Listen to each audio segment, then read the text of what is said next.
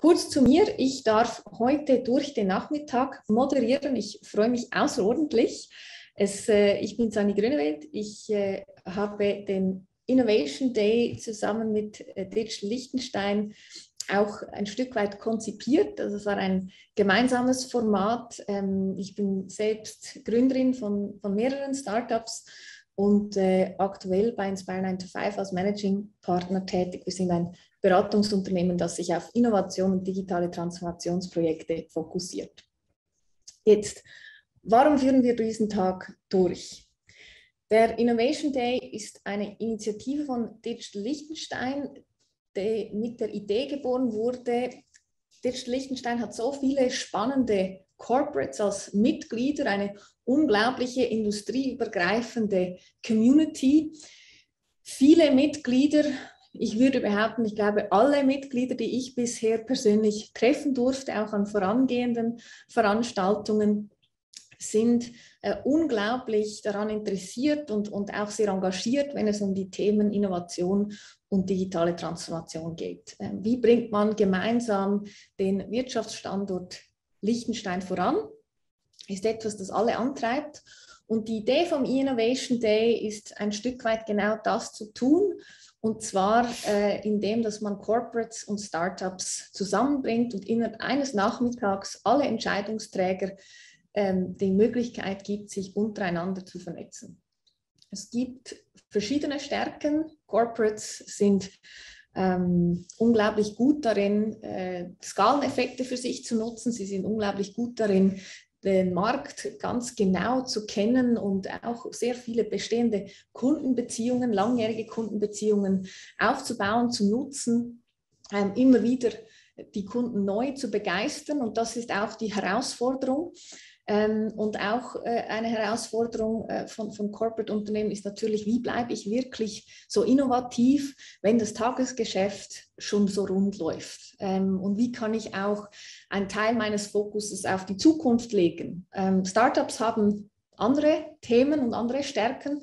Ähm, Startups sind sehr oft ähm, komplett der Zukunft verpflichtet. Äh, sie sind jene, die sehr agil, sehr wendig sehr schnell auf zukünftige Trends auch reagieren können, sich heute schon damit auseinandersetzen, was sind die allerneuesten Technologien, was sind die spannendsten Möglichkeiten, um die Herausforderungen der Kunden von heute und morgen wirklich zu lösen.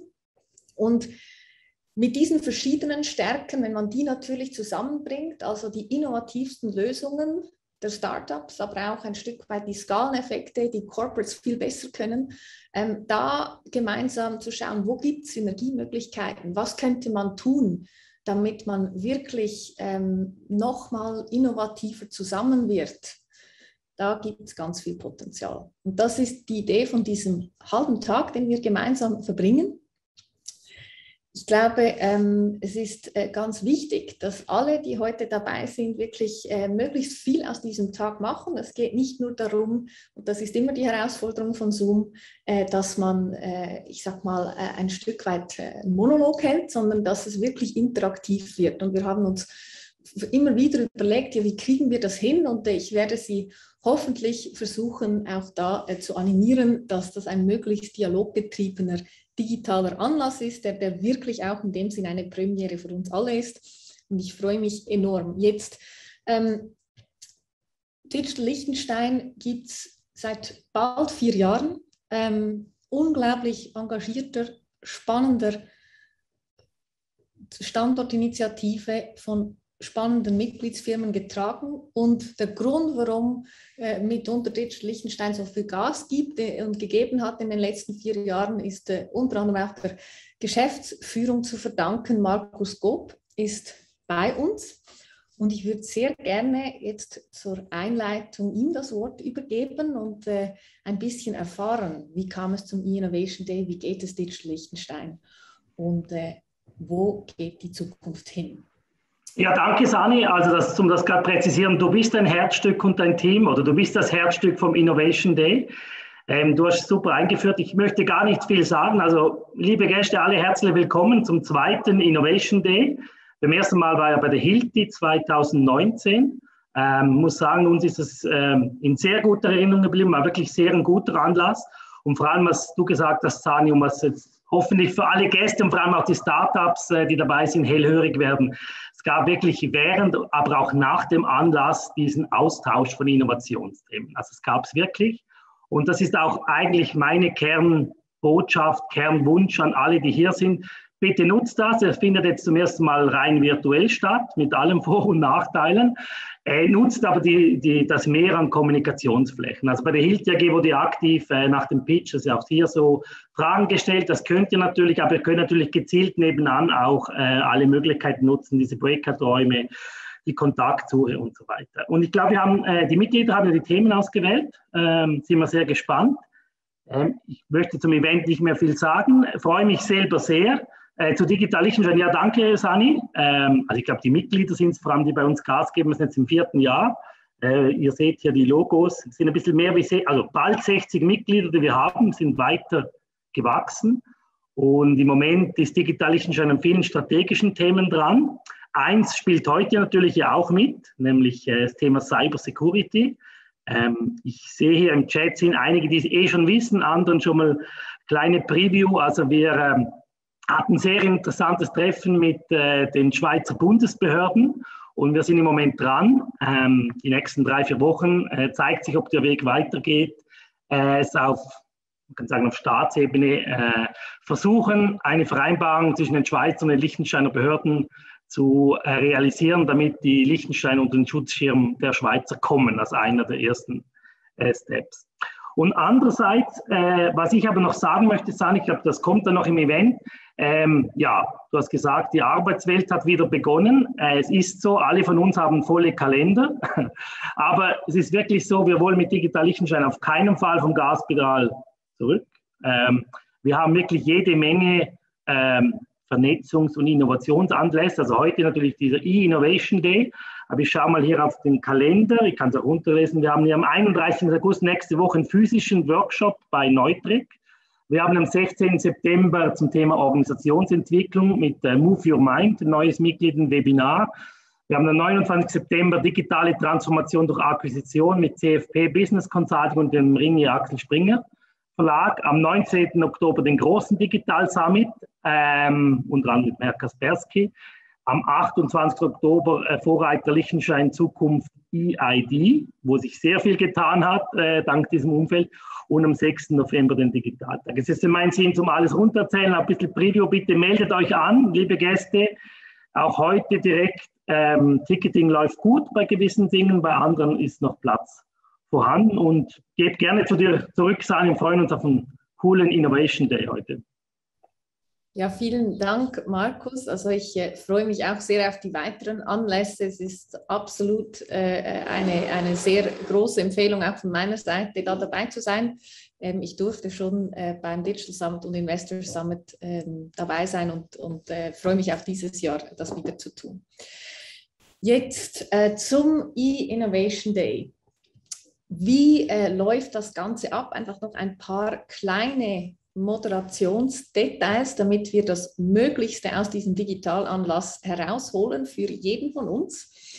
Ähm, und zwar äh, geht es darum, wir haben heute in der Audience und ihr werdet äh, euch dann auch später nochmals äh, möglicherweise ein bisschen auch kennenlernen in diesen Breakout Rooms. Wir haben heute in der Audience einmal ähm, Gründer von verschiedenen ähm, super spannenden Technologie-Startups in Bereichen, die äh, Mitgliedsfirmen von Digital Liechtenstein in einer Umfrage, wie Markus das skizziert hat, gesagt haben, hey, ähm, das sind die Themen, die uns bewegen. Hier wissen wir als Mitgliedsfirmen, als Corporates, wir möchten beispielsweise im Bereich Robotics, da können wir nicht alles selbst machen, da sind wir gespannt, was gibt es eigentlich für Startup-Firmen, wo wir Synergien nutzen können. Stichwort Cybersecurity, genau das gleiche Thema. Also wir haben ähm, wirklich aus den verschiedensten Bereichen, die Digital Liechtenstein und ihre Mitglieder wirklich gesagt haben, hey, das ist relevant für uns, da haben wir die spannendsten Startups rausgepickt. Die sind heute bei uns digital on stage. Ähm, wie läuft das Ganze ab? 15 Minuten pro Firma, die pitcht.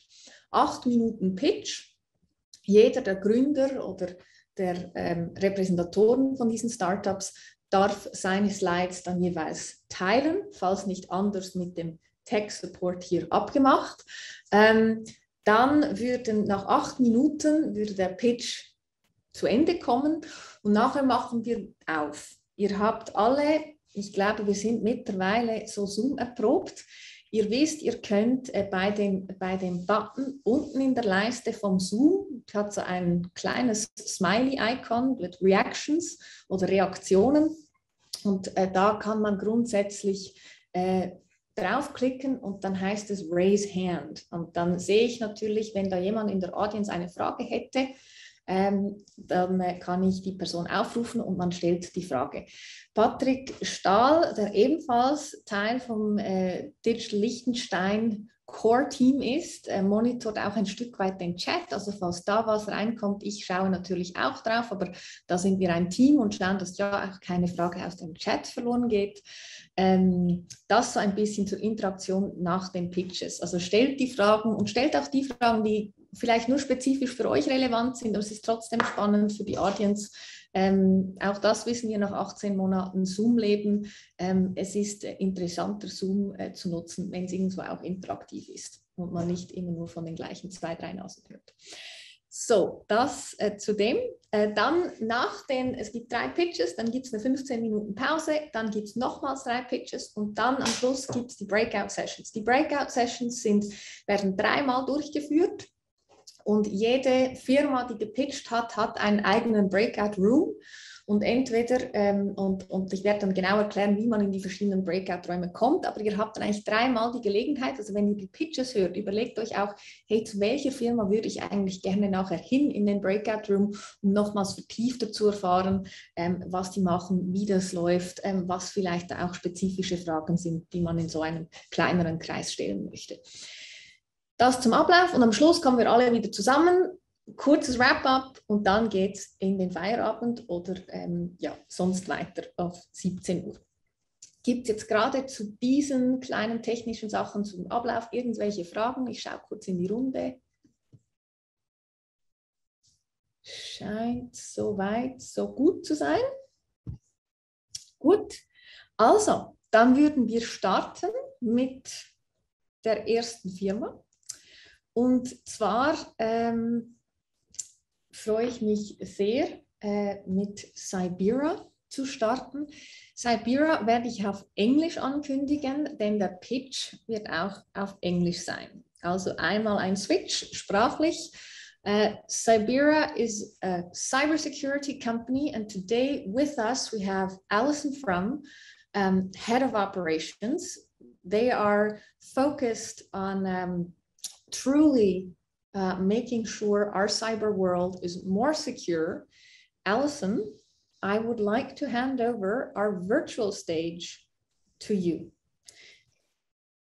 Thank you very much for that kind introduction. And zuerst muss ich für mein schlechtes Deutsch Entschuldigung. Ich lerne, aber für diese Präsentation ist mein Englisch besser. And with that, I will try to share my screen and get started with the presentation. Let me know when you can see that.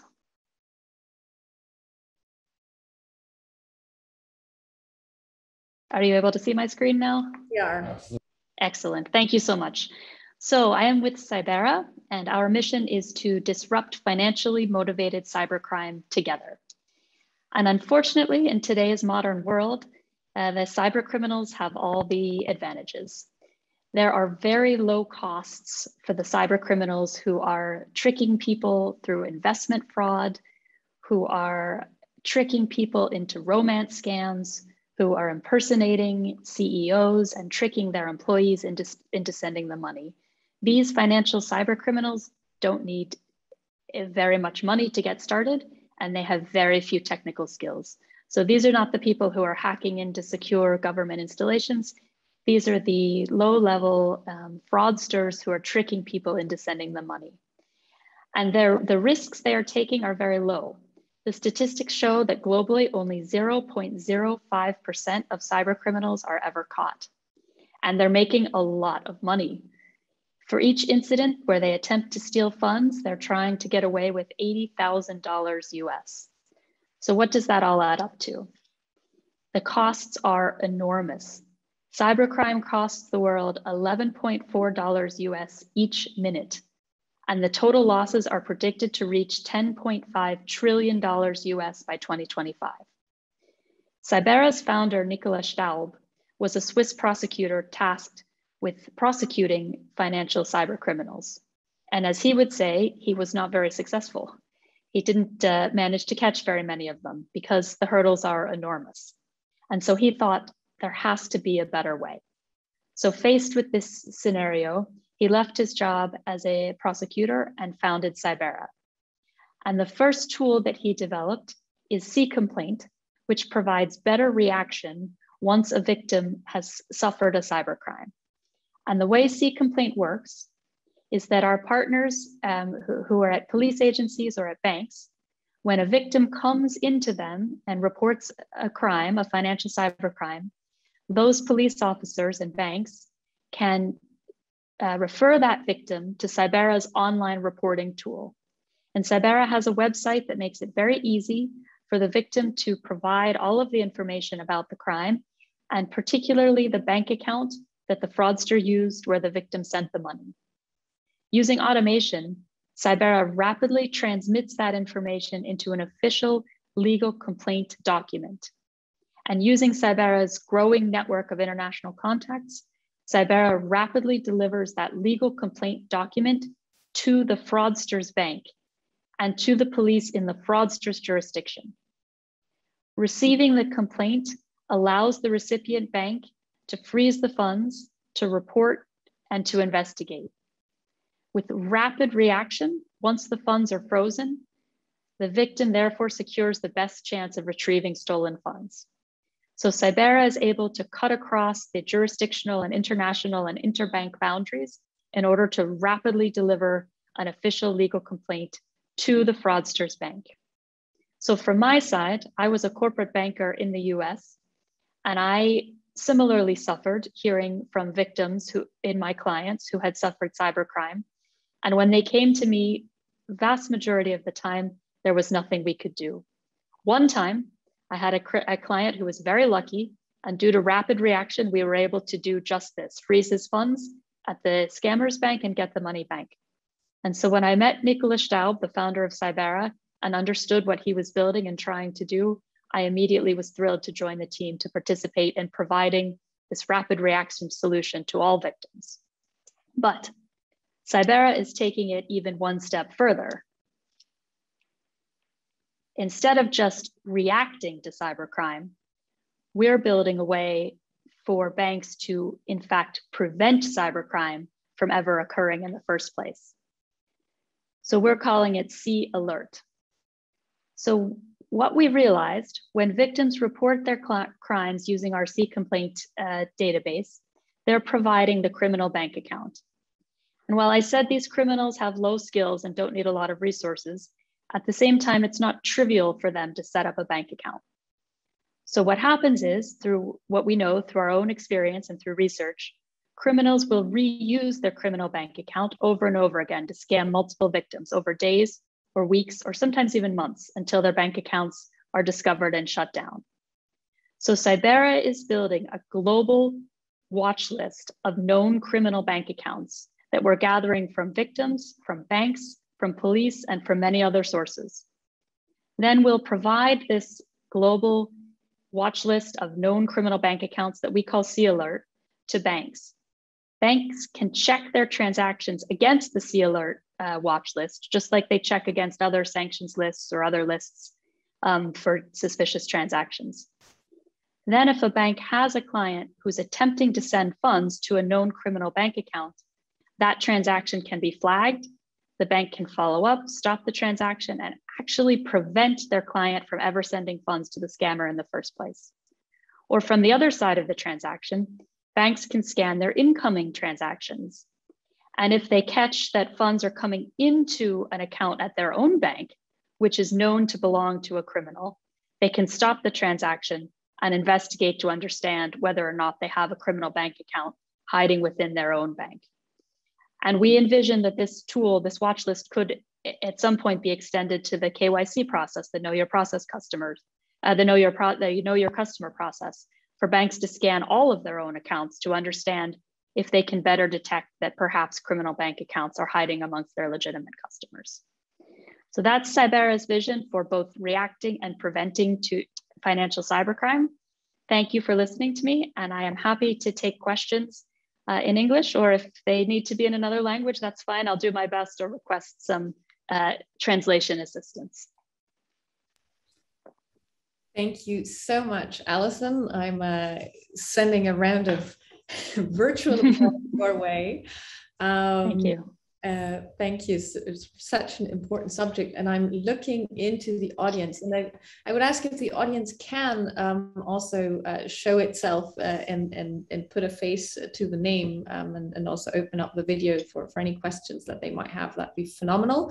If not, of course, uh, that is fine. But um, yeah, is does anybody does anybody who's been listening in here have a particular question? Perhaps my English was uh, unintelligible for the audience. Gibt es jemand, der hier eine Frage hat? Ich glaube. Um, yes, if I may break the ice. Yes, please. Good afternoon. I'm Thomas Romberg, um, Chief Cybersecurity Officer of Hilti. So I was wondering um, how cooperative are banks and uh, police agencies in other jurisdictions outside of the world or outside of Europe, uh, knowing that um, the threat, threat actors that are behind these scams are coming from Russia, China, etc. I think it's kind of hard to imagine that you get full support and, and assistance um, to, to really act timely. Or what is your perception on, on, on that challenge? Yes, that's an excellent question. So there, I have a couple of uh, responses. The first is there's a, a key part of the process which is called a money mule account. So for some of these, many of these scams, if you think you're investing uh, with a, a, trader who's located in Switzerland, but you're asked to send funds to a bank account in Nigeria, for many people that would cause some alarm bells. So one of the things that happens is these criminals work with intermediaries who lend them a European bank account, often a Swiss bank account if it's if it's in Switzerland. And these intermediary accounts, money mules, either knowingly or unknowingly serve as an it serve as an intermediary to pass on funds from the victim to the fraudster. And being a money mule account, even if you don't know that you're doing it, is is itself illegal. So the first um, the first defense is that many of these accounts are located in, in Europe and inside banks that do care very much that they have uh, uh, money laundering transactions that are flowing through them. So that's that's the first first thing. Um, the second thing is um, almost uh, there, there's a global regulatory organization called the Financial Action Task Force, and it monitors and scores and rates countries on the level to which they comply with global money laundering standards. And the vast majority of the countries in the world try very hard to um, not get put under extended monitoring from the FATF perspective because it makes their international financial transactions that much harder for everybody within their country. So there certainly is, regardless of the country in the world, some motivation to comply with anti-money laundering um, regulations. And when there've been delivered a legal complaint that indicates that there's money laundering going on within their bank, um, certainly there's at least a legal pressure for them to respond. Now, that said, it's not it's not it's not easy, um, and Cybera is is uh, live only for about six weeks now. But I will say, with the the original victims that have been referred to us, the vast majority of the accounts that we're we're tracking are in Europe and the US. So we've had a few in other parts of the world, but plenty, plenty of criminals hiding um, closer to home. Great, thanks for sharing, Alison. Thank you for the question. Weitere Fragen?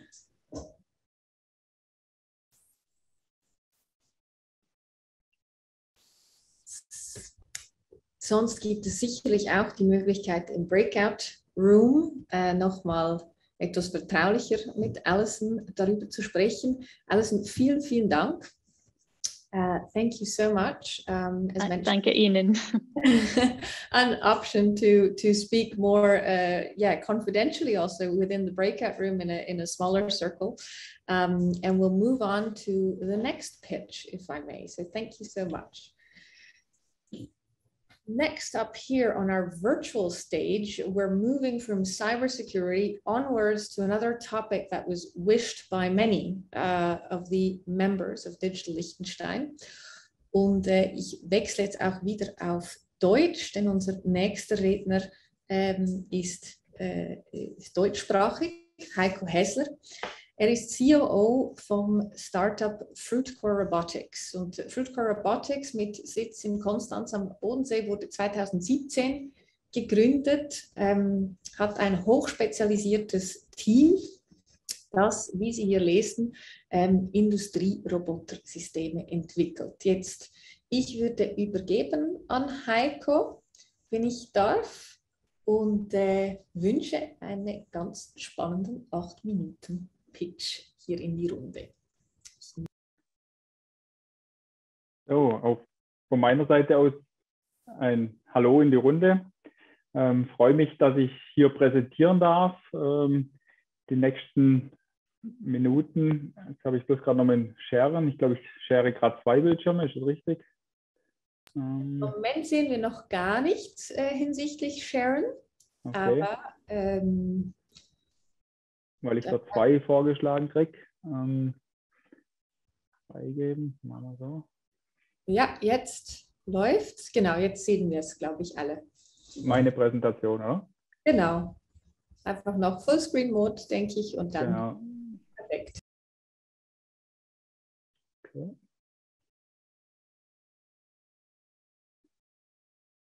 So, jetzt, oder? Perfekt. Also nochmal Hallo und danke, dass ich hier dabei sein darf, eben von Fruitcore Robotics. Ähm, mein Name ist nicht Horst, das ist unser Roboter.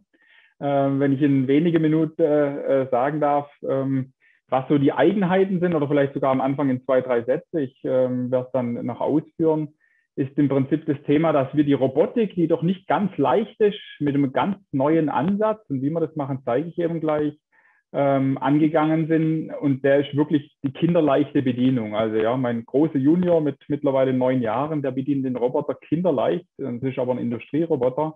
Besser wie ich. Ähm, das Ganze haben wir geschafft für ein sehr, sehr gutes Preis-Leistungs-Verhältnis. Das Preis-Leistungs-Verhältnis aber nicht aufgrund von ich sage jetzt mal Materialeinsparung oder auf Kosten von der, sage jetzt mal Performance oder auch Langlebigkeit. Also wir kriegen unsere Roboter mit drei oder fünf Jahre Garantieverlängerung, sondern tatsächlich ähm, durch Innovation. Ähm, wie wir das machen, das würde ich gerne in den folgenden Folien zeigen. Ähm, ich löse auch noch auf, was Horst heißt, eben unser Produktname und eben immer mit dem Ansatz Easy of Use in der Automatisierung. Wir sind ja 2016 gestartet äh, mit der Entwicklung, 2018 ähm, letztendlich an den Markt gegangen, damals auf der Motec. Wir haben jetzt bald Premiere, sind drei Jahre am Markt, relativ jung unterwegs, haben aber ja mit den fünf Gründern, das eigentlich bei uns heute die Geschäftsleitung und die Entwicklungsleitung ausmacht, äh, die ersten zwei Jahre äh, gekämpft und dann einen recht starken, ja, sage jetzt mal, Anstieg gehabt, auch in der Mitarbeiterzahl. Ähm, vielleicht vorher noch äh, zu ergänzen, ich bin eben auch aus der Geschäftsleitung raus zuständig für die Regionen Schweiz, Österreich und Liechtenstein. Da sind wir so jetzt nach und nach auch am Internationalisieren. Ähm, was hier steht, ist uns ganz, ganz wichtig. Eben uns haben am Anfang, muss man sagen, auch der eine oder andere belächelt, hat gesagt, ja, es gibt ja schon die ganzen Roboter, wir kennen sie, die die gelben, die orangen, die weißen und wie auch immer. Ähm, das ganze Made in Germany, das wird nicht klappen. Äh, den haben wir tatsächlich jetzt schon, ich behaupte jetzt mal, äh, die Antwort gegeben. Es geht. Ähm, wir haben da ein recht rasantes Wachstum ähm, hinter uns und ich hoffe auch weiterhin vor uns. Wir sind in Konstanz am Bodensee beheimatet, haben Mitte letzten Jahres die Produktion nach Villingen-Schwenningen verlagert. Äh, hat verschiedene Gründe gehabt, um einfach auch da nochmal mehr Schlagkräftigkeit zu haben wir sind eben stolz drauf, wir sind kein Roboter, ich sage jetzt mal Distributor oder Vertriebspartner oder sonst was, sondern Sie sind auch herzlich eingeladen, kommen Sie mal nach Villingen oder nach Konstanz. Wir produzieren die Baugrößen, wir haben recht große Fertigungstiefe, wir haben eine eigene Entwicklung von den 80 Mitarbeitern, sind mittlerweile knapp 40 Entwickler. Ähm, wir sehen uns auch passend zum heutigen Thema als Vorreiter, was die Robotik angeht, in der Digitalisierung, also so Themen wie Cloud, KI und so weiter in Kombination mit dem Roboter. Da haben wir schon einiges umgesetzt und noch viel mehr vor. Ähm, wir haben, ja, da unten sieht man es auch den einen oder anderen Preis gewonnen. Ich glaube, das ist jetzt heute in der Startup-Runde. Ich komme ursprünglich von einem traditionellen Unternehmen äh, habe immer am Anfang gesagt, was nutzen uns Preise? Mittlerweile sage ich, äh, Preise nutzen uns sehr viel, weil es nützt nichts, wenn sie das tollste Produkt haben und sie kennt keiner. Ähm, von daher habe ich auch dazu gelernt. Wenn man jetzt nochmal die Robotik im Gesamten anschaut, ich glaube, das ist das Bild, das Sie auch haben und äh, ich hoffe dann auch recht gut nachvollziehen können. Hier die, ja, wie ich vorher schon genannt habe, konventionellen Industrieroboter. Die grünen Punkte sind so die, die man aus unserer Marktwahrnehmung immer wieder zurückgemeldet bekommen, ähm, das ist gut und das andere ist vielleicht nicht ganz so optimal. Ähm, ja, die sind sehr performant, Geschwindigkeit, äh, Performance, äh, dementsprechend Genauigkeit und so weiter. Auch das haben wir letztendlich mit übernommen. Ähm, sie sind aber auf der anderen Seite, sagt man nach, teuer, die Gesamtlebenszykluskosten letztendlich über TCO recht hoch, komplex in der Programmierung, also die nicht so positiven Punkte, die uns da immer wieder zurückgemeldet wurden, schon am Anfang unserer Entwicklung haben wir damit aufgenommen. Dann in aller Munde letztendlich vor Corona auf jedem zweiten Messestand die Cobots. Ähm, auch die haben natürlich äh, ihre Vorteile. Schnelle Setups, easy of use, äh, wie wir es heute auch haben.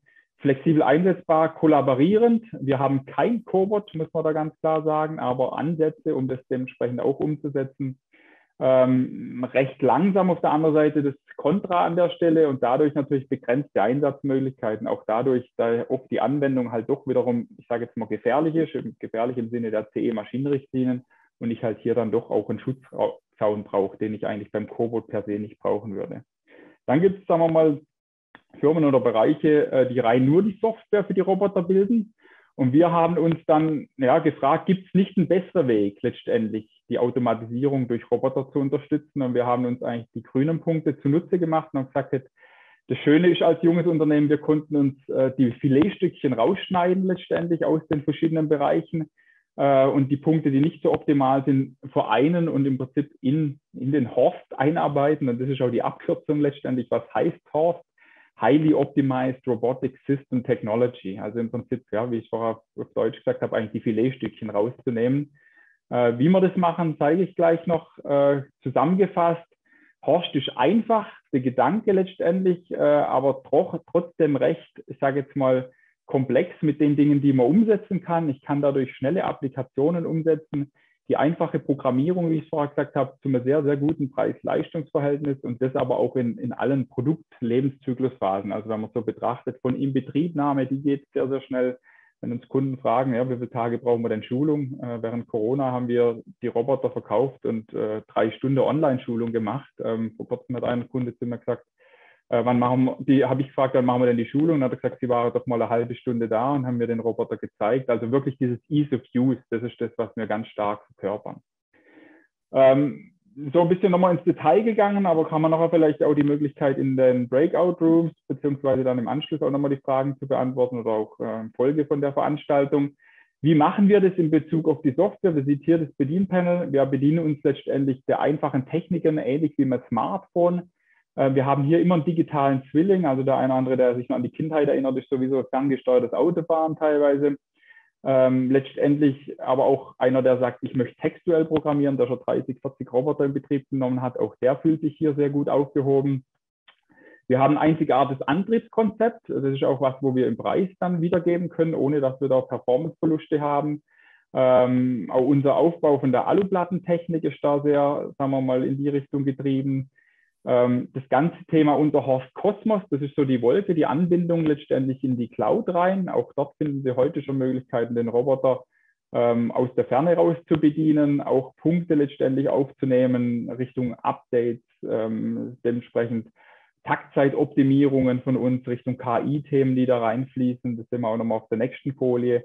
Die ganzen Dokumentationsthemen und so weiter, das bilden wir alles unter Horst Cosmos ab.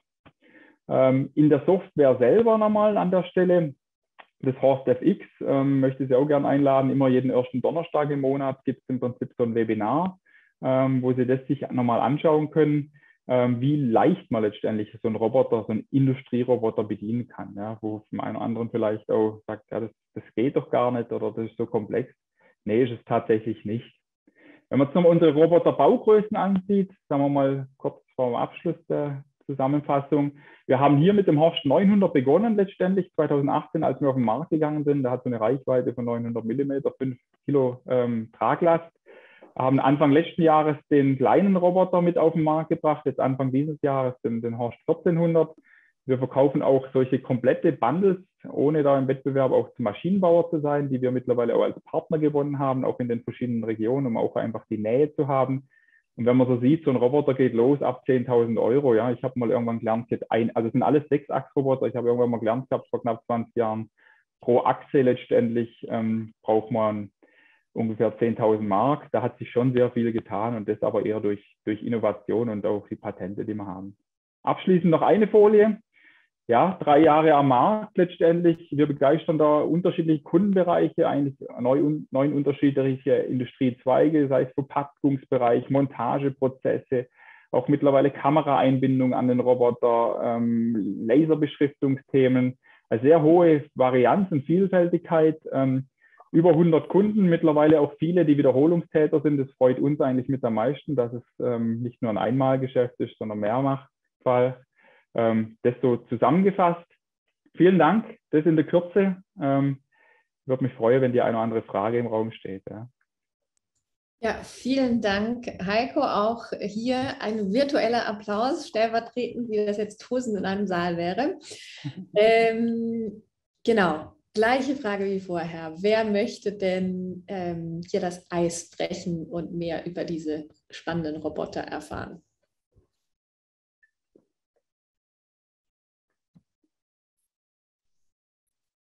Das Raise the Hand Icon ähm, kann man nutzen oder man kann sich auch einfach unmuten. Ich glaube, wir sind in einer Runde, wo das problemlos geht. Alle Klarheit beseitigt. Ja, das geht eben schnell. ähm, und einfach und unkompliziert. Ähm, ich, ich, würde sonst schnell mal äh, äh rein, rein äh, brechen. Heiko, könntest du uns kurz erklären, was wäre jetzt so das normale Vorgehen, wenn jetzt eine, eine Firma auf euch zukommt und sagt, ich habe einen Prozess, den könnte man automatisieren, aber ich, ich bin mir dann jetzt auch unsicher. Ähm, mhm. Wie würdet ihr da konkret vorgehen? Mhm.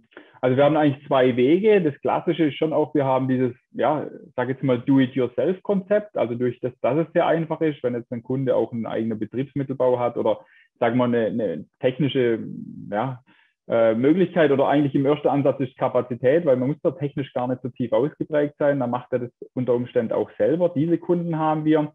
Oder wenn der Roboter letztendlich auch eingebunden werden sollte, noch in verschiedene andere Prozesse, letztendlich auch andere Prozesse im Automatisierungskontext ähm, gebraucht werden, dann haben wir letztendlich jetzt in der Schweiz, um in der Region zu bleiben, in der Schweiz vier Partner regional verteilt, auch sagen wir, regional zu Liechtenstein ganz kurze Wege, ähm, in Österreich mittlerweile sechs Partner, die dann die Automatisierung im Gesamten machen, die auch Roboter bei sich vor Ort haben Nichtsdestotrotz, mit denen arbeiten wir sehr, sehr eng zusammen, sind sie natürlich auch eingeladen, bei uns, sagen wir mal, in Konstanz mal vorbeizuschauen. Ich denke, das ist auch aus Liechtenstein oder der Region natürlich sehr, sehr kurze Wege.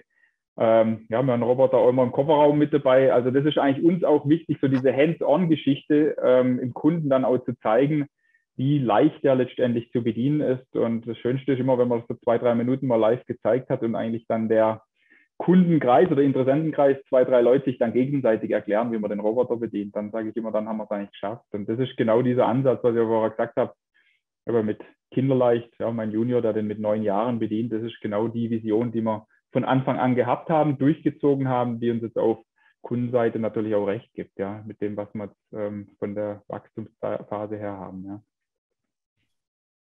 Danke. Darf ich vielleicht auch kurz eine Frage stellen?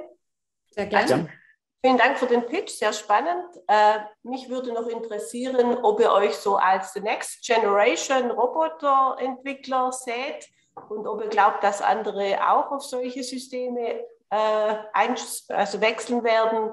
Und dann würde mich noch interessieren, was denn so die größte Hürde ist, warum äh, Firmen vielleicht noch nicht einsteigen oder ähm, ja, es ist ja doch mit Investitionen verbunden, was mhm. ihr da unternehmt, damit ihr euren Kundenkreis noch erweitern könnt. Mhm, mh.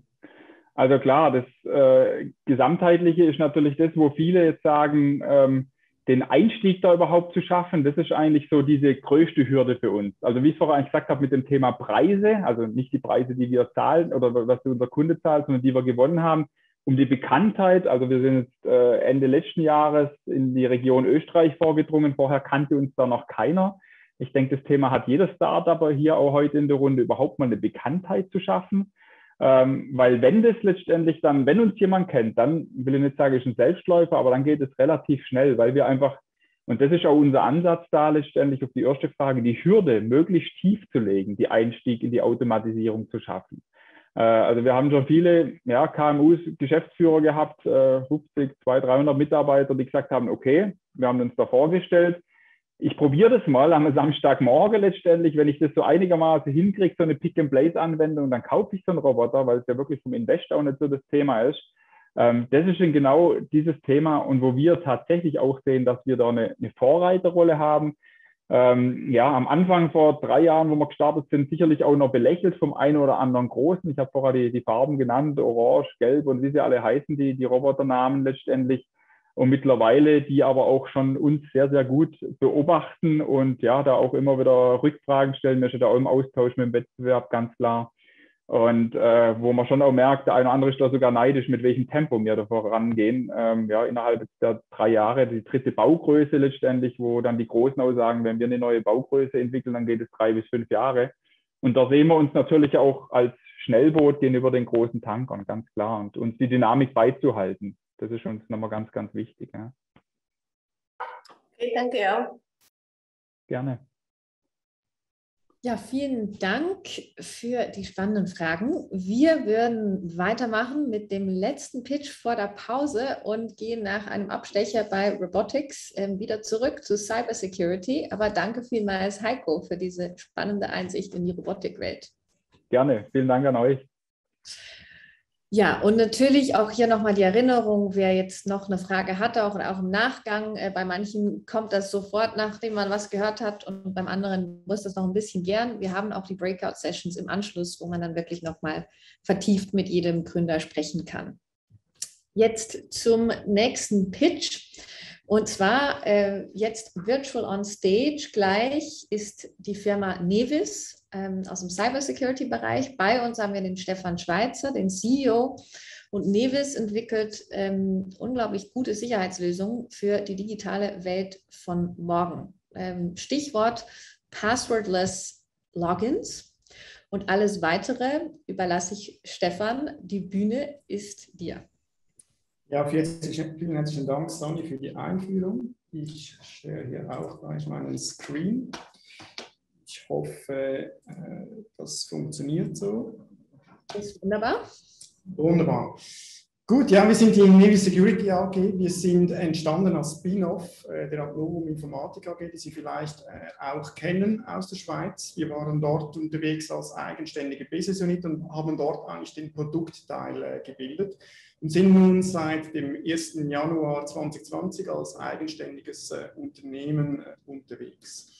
In der Security ist es fast wie in der äh, Robotik, was wir gerade vorhin gehört haben. Äh, Einfachheit, nur Security ohne Einfachheit in der Benutzung äh, ist heute ein Wettbewerbsnachteil. Und äh, das kommt daraus, äh, eigentlich aus dem Statement auch von Gartner, äh, User Experience is the new battleground weil jeder fünfte Kunde wechselt nach einem schlechten Erlebnis auf einem, auf einem digitalen Kanal unmittelbar den Anbieter. Das heißt, eine schlechte User Experience äh, ist, äh, ist wirklich ein Wettbewerbsnachteil.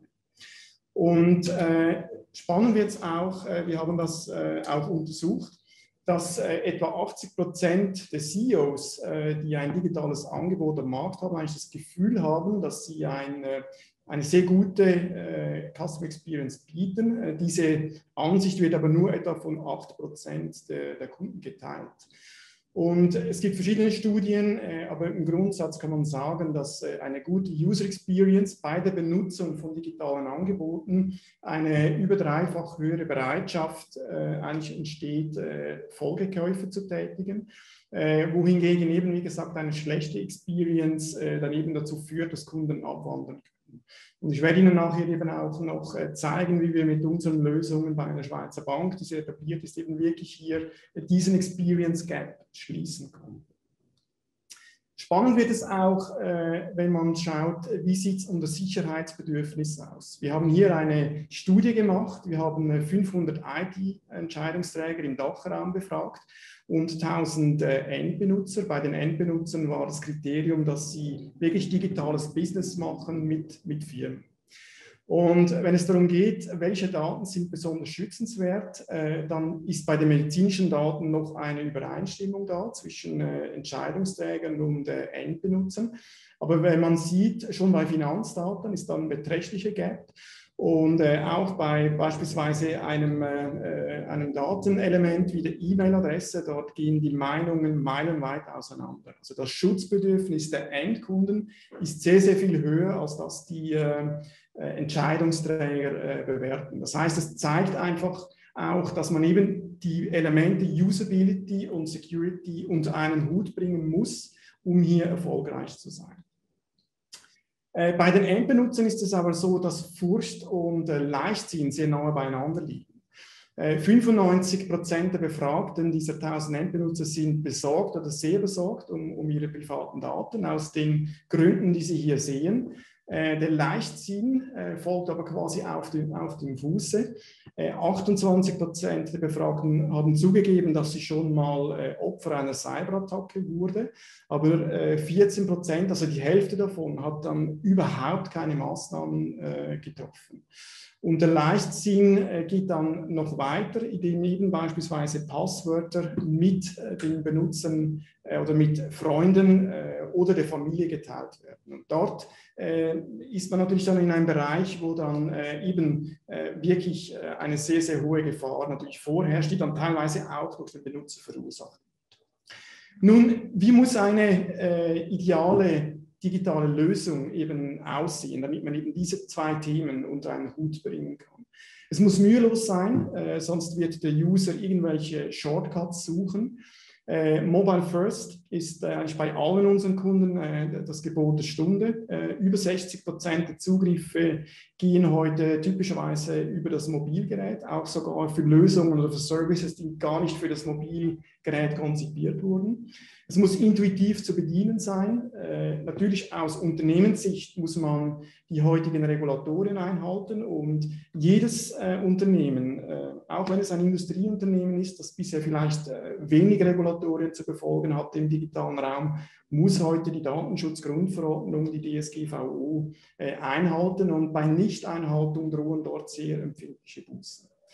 Daneben müssen die Verfahren sicher sein, gerade bei der Authentisierungslösung, weil das ist quasi das Entry Gate, äh, um ein digitales Angebot zu nutzen. Und eben das digitale Erlebnis muss für den Kunden natürlich äh, gut sein, herausragend sein. So kann man sich eben auch vom Wettbewerb unterscheiden. Nevis bietet hier zwei äh, Lösungsangebote. Das eine ist äh, die sogenannte Authentication Cloud. Damit kann man bestehende Lösungen sehr einfach, sehr schnell mit äh, der passwortlosen Authentisierung erweitern. Wir bieten dort einen Cloud-Service, den man über REST APIs einbinden kann und auf der Mobilseite eine fixfertige Branded App, die man auf das Look and Feel des Kunden ähm, anpassen kann innerhalb weniger Tage oder auch für Kunden, die bereits Apps im App Store haben, einen SDK.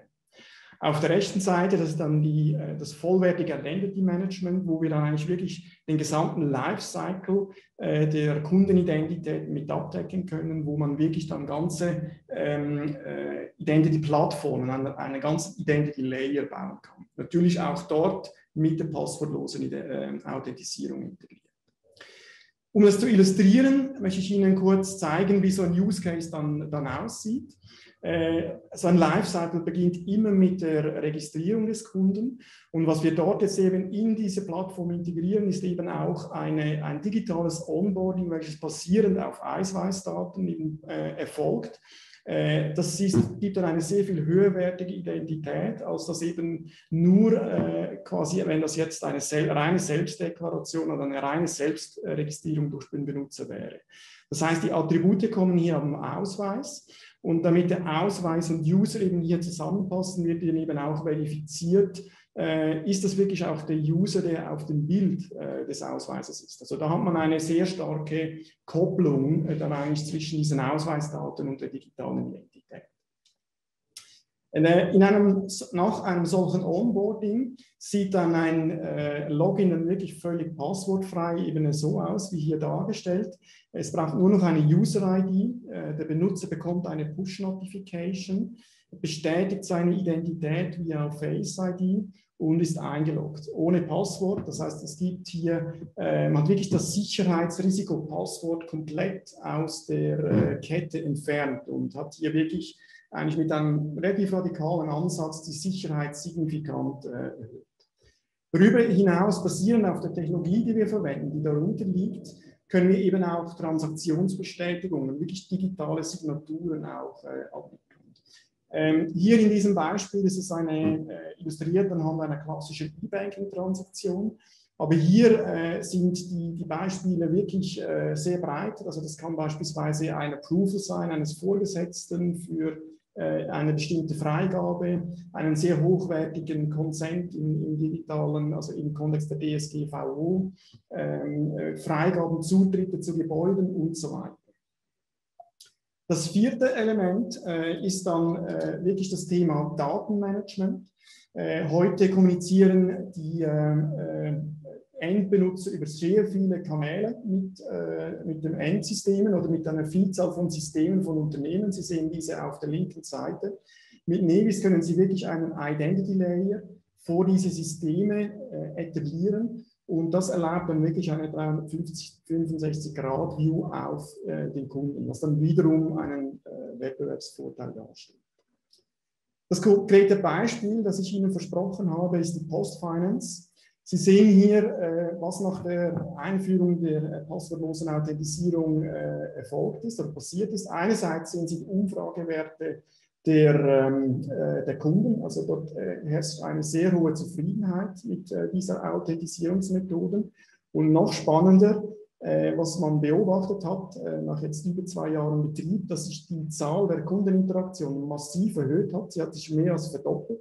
Es gibt dort gerade im Bereich Trading, äh, hat sich der, der Umsatz vervielfacht, also auch einen messbar positiven äh, Impact auf, auf den Revenue äh, dann für die Post-Finance. Also es gibt dort wirklich User, die sich 50 Mal pro Tag einloggen, weil sie eben äh, irgendwelche Trades machen. Und weil der Login so einfach ist, ist das überhaupt keine Schwelle mehr. Es hat überhaupt diese, der Einsatz dieser Technologie hat dann überhaupt das Mobile Trading erst ermöglicht für die Post Finance, weil vorher die entsprechende Security-Technologie oder Security-Plattform nicht verfügbar war. Über alles, ähm, aufgrund auch des langen Track Records und der Vorgeschichte mit äh, äh Amnovum, ist Nevis ein sehr etablierter Player im, im Schweizer Markt. Äh, Nevis schützt äh, rund 80 Prozent der E-Banking-Transaktionen in der Schweiz. Wir haben aber auch Kunden beispielsweise im Bundesumfeld, äh, bei den Kantonen, äh, im E-Commerce, aber auch Industriefirmen wie SFS oder der FISMAN-Konzern in, in Deutschland. Äh, der schützt beispielsweise sein Händlerportal äh, und auch weitere digitale Services mit Endkundenbezug ähm, weltweit mit, äh, mit uns. Ja, und an dieser Stelle äh, nehme ich auch gerne natürlich noch äh, Fragen entgegen und äh, stehe natürlich dann auch in der Breakout-Session zur, gerne, sehr gerne zur Verfügung, dann auch um die Technologie noch etwas genauer zu beleuchten.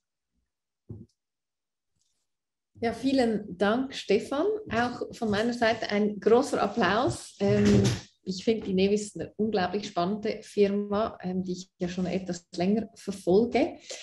Jetzt der Blick ins Publikum, ins Virtuelle. Hat jemand gerade eine Frage zu Nevis?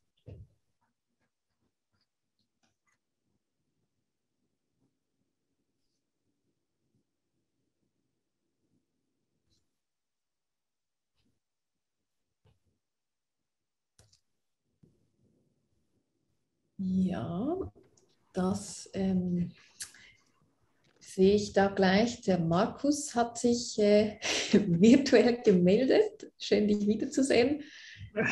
Danke, Sani. Security ist ja ein wichtiges Thema, das hast du ja angetönt ganz am Anfang. Sehr. Was sehr. ist deine Frage? Ja, also äh, sehr spannende Präsentation, muss ich sagen. Finde ich spannend. Können Sie vielleicht nochmal sagen, ich habe es auch im Chat geschrieben, welche Zielgruppen jetzt bei Digital Liechtenstein haben Sie jetzt speziell im Fokus? Also jetzt sicher äh, die Finanzunternehmen, die einerseits äh, äh, sicher eben auch regulatorische äh, Anforderungen erfüllen müssen, aber durchaus auch Industrieunternehmen, weil wir haben gesehen, jetzt gerade auch äh, Covid hat dazu geführt, dass viele Industrieunternehmen mit Kundenportalen, mit auch beispielsweise Partnerportalen jetzt vorwärts machen. Also diese zwei Beispiele, die Sie hier sehen, SFS und Fissmann, äh, bei SFS, die haben etwa zwölf Webshops, die Sie mit Nevis quasi hier in diese Datenmanagement-Folien, wo Sie das alles äh, mit, in, mit einem Account vereint haben, nach außen. Dort hatten vorher beispielsweise gewisse Shop-Benutzer bis zu zehn Logins, um auf die verschiedenen Shops äh, zuzugreifen. Also die haben sich dann auch begonnen zu beschweren und gesagt, hey, das kann ja nicht sein, wenn ich im Shop A kaufe, dass ich äh, einen anderen Login brauche als im Shop B und so weiter. Das ist also ein Thema. Und dort ist wirklich, wenn man bei SFS in die Kantine geht, dort äh, läuft ein Banner äh, mit dem aktuellen Tagesumsatz von, von den konsolidierten Tagesumsätzen auf den Webshops. Also das zeigt eben auch die Bedeutung durchaus äh, in der, bei der Industrie. Bei Fissmann beispielsweise, die haben ein Portal für ihre Installationsbetriebe. Ähm, allein dieses Portal, äh, die haben etwa 750 50.000 Installationsbetriebe, äh, die das nutzen. Dort gibt es dann eben auch äh, Themen wie äh, delegiertes Management, also dass dann der Chef dann weitere äh, Identitäten da sehr einfach hinzufügen kann. Eben, dass dann auch äh, der Zugriff dann auf digitale Angebote passwortfrei äh, eben möglich ist weil es einfach die Einfachheit äh, äh, verbessert und eben dadurch beispielsweise auch Supportprozesse. Eben Passwort Reset äh, ist so der Klassiker, äh, den äh, bringt man da einfach weg. Und würden, Sie, würden Sie sagen, aber von der, ich versuche natürlich, äh, wie sagen ja auch, ein bisschen die Verbindung von Corporate zu Startups, eben die Brücke zu schlagen. Jetzt ist die Frage, was sind auch Corporates, weil Liechtenstein ähm, ja, sehr diversifizierte Wirtschaft, da gibt es eine Größenordnung, wo Sie sagen, jetzt ähm, eine Firma muss so und so äh, eine Kapazitätsgröße haben, das Sinn macht oder nicht? Äh, überhaupt nicht. Also das Cloud Offering, äh, das ist ein, ein usage-basiertes Pricing. Also das startet bei äh, ein paar hundert Franken äh, pro, äh, pro Monat. Und äh, nachher, wenn die Usage tief ist, dann bleibt wirklich auch das Investment enorm tief. Und von daher ist das absolut äh, auch geeignet für, für kleinere Firmen. Also äh, äh hier gehen wir mal schnell zurück. Äh, dieses Offering äh, in, der, in der Cloud, äh, das ist innerhalb von wenigen Tagen in bestehende, ähm, dieses hier, hier auf der linken Seite die Authentication Cloud, das startet bei, bei 300 Franken pro Monat und ist äh, sehr einfach integrierbar innerhalb von ein paar Tagen. Und äh, eben, wie gesagt, auch in bestehende äh, Shop-Systeme äh, mit eben auch der Funktionalität, dass man eben dann Berechtigungsprozesse und so weiter eben sehr viel besser absichern kann. Hammer, super. Ja, weil wir, haben, wir kommen auf die gleichen Erkenntnisse bei Digital schon wie alle. Wir merken, dass die Großen sowieso affin sowieso sind, aber sich gut schützen, vor allem die Finanzen, mhm. Finanzler sowieso. Oder wir merken, je kleiner die Firma, je mehr haben das Gefühl, man ist sowieso nicht im Fokus. Aber das ändert sich jetzt auch. Drum, äh, uns ist natürlich wichtig, dass auch die KMUs affiner werden. Ja. Absolut. Danke, Jan. Auf der linken Seite muss ich auch noch sagen, äh, wir sind dran, eben das jetzt auch als SaaS-Offering zu etablieren, also Software as a Service. Das heißt auch hier, dass man äh, hier beispielsweise vorgefertigte Integrationen hat, wie man Standardapplikationen integrieren kann, sodass auch der Systemadministrator beim Kunden sehr einfach und ohne großen Projektaufwand äh, installieren und integrieren kann. Also auch hier, wir gehen einen ähnlichen Approach wie, wie, der, wie mein Vorredner in, in der Robotik hier wirklich im Bereich äh, äh, Absicherung von digitalen Portalen, äh, die eben äh, ins Internet exponiert sind. Danke.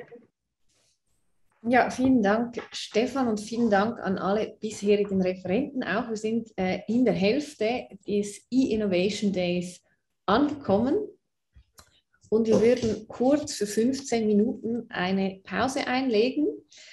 Wir lassen selbstverständlich den Zoom-Kanal offen, aber ähm, sind einfach in 15 Minuten zurück. Das heißt, um 20 nach 3 geht es weiter mit Teil 2 vom E-Innovation Day. Bis dann und schöne Pause euch allen. So, herzlich willkommen zurück zum E-Innovation Day. Ich hoffe, alle haben die Pause genossen. Wir haben drei Pitches gehört, viele spannende Fragen besprochen, vor allem Fokus Cybersecurity und Robotics.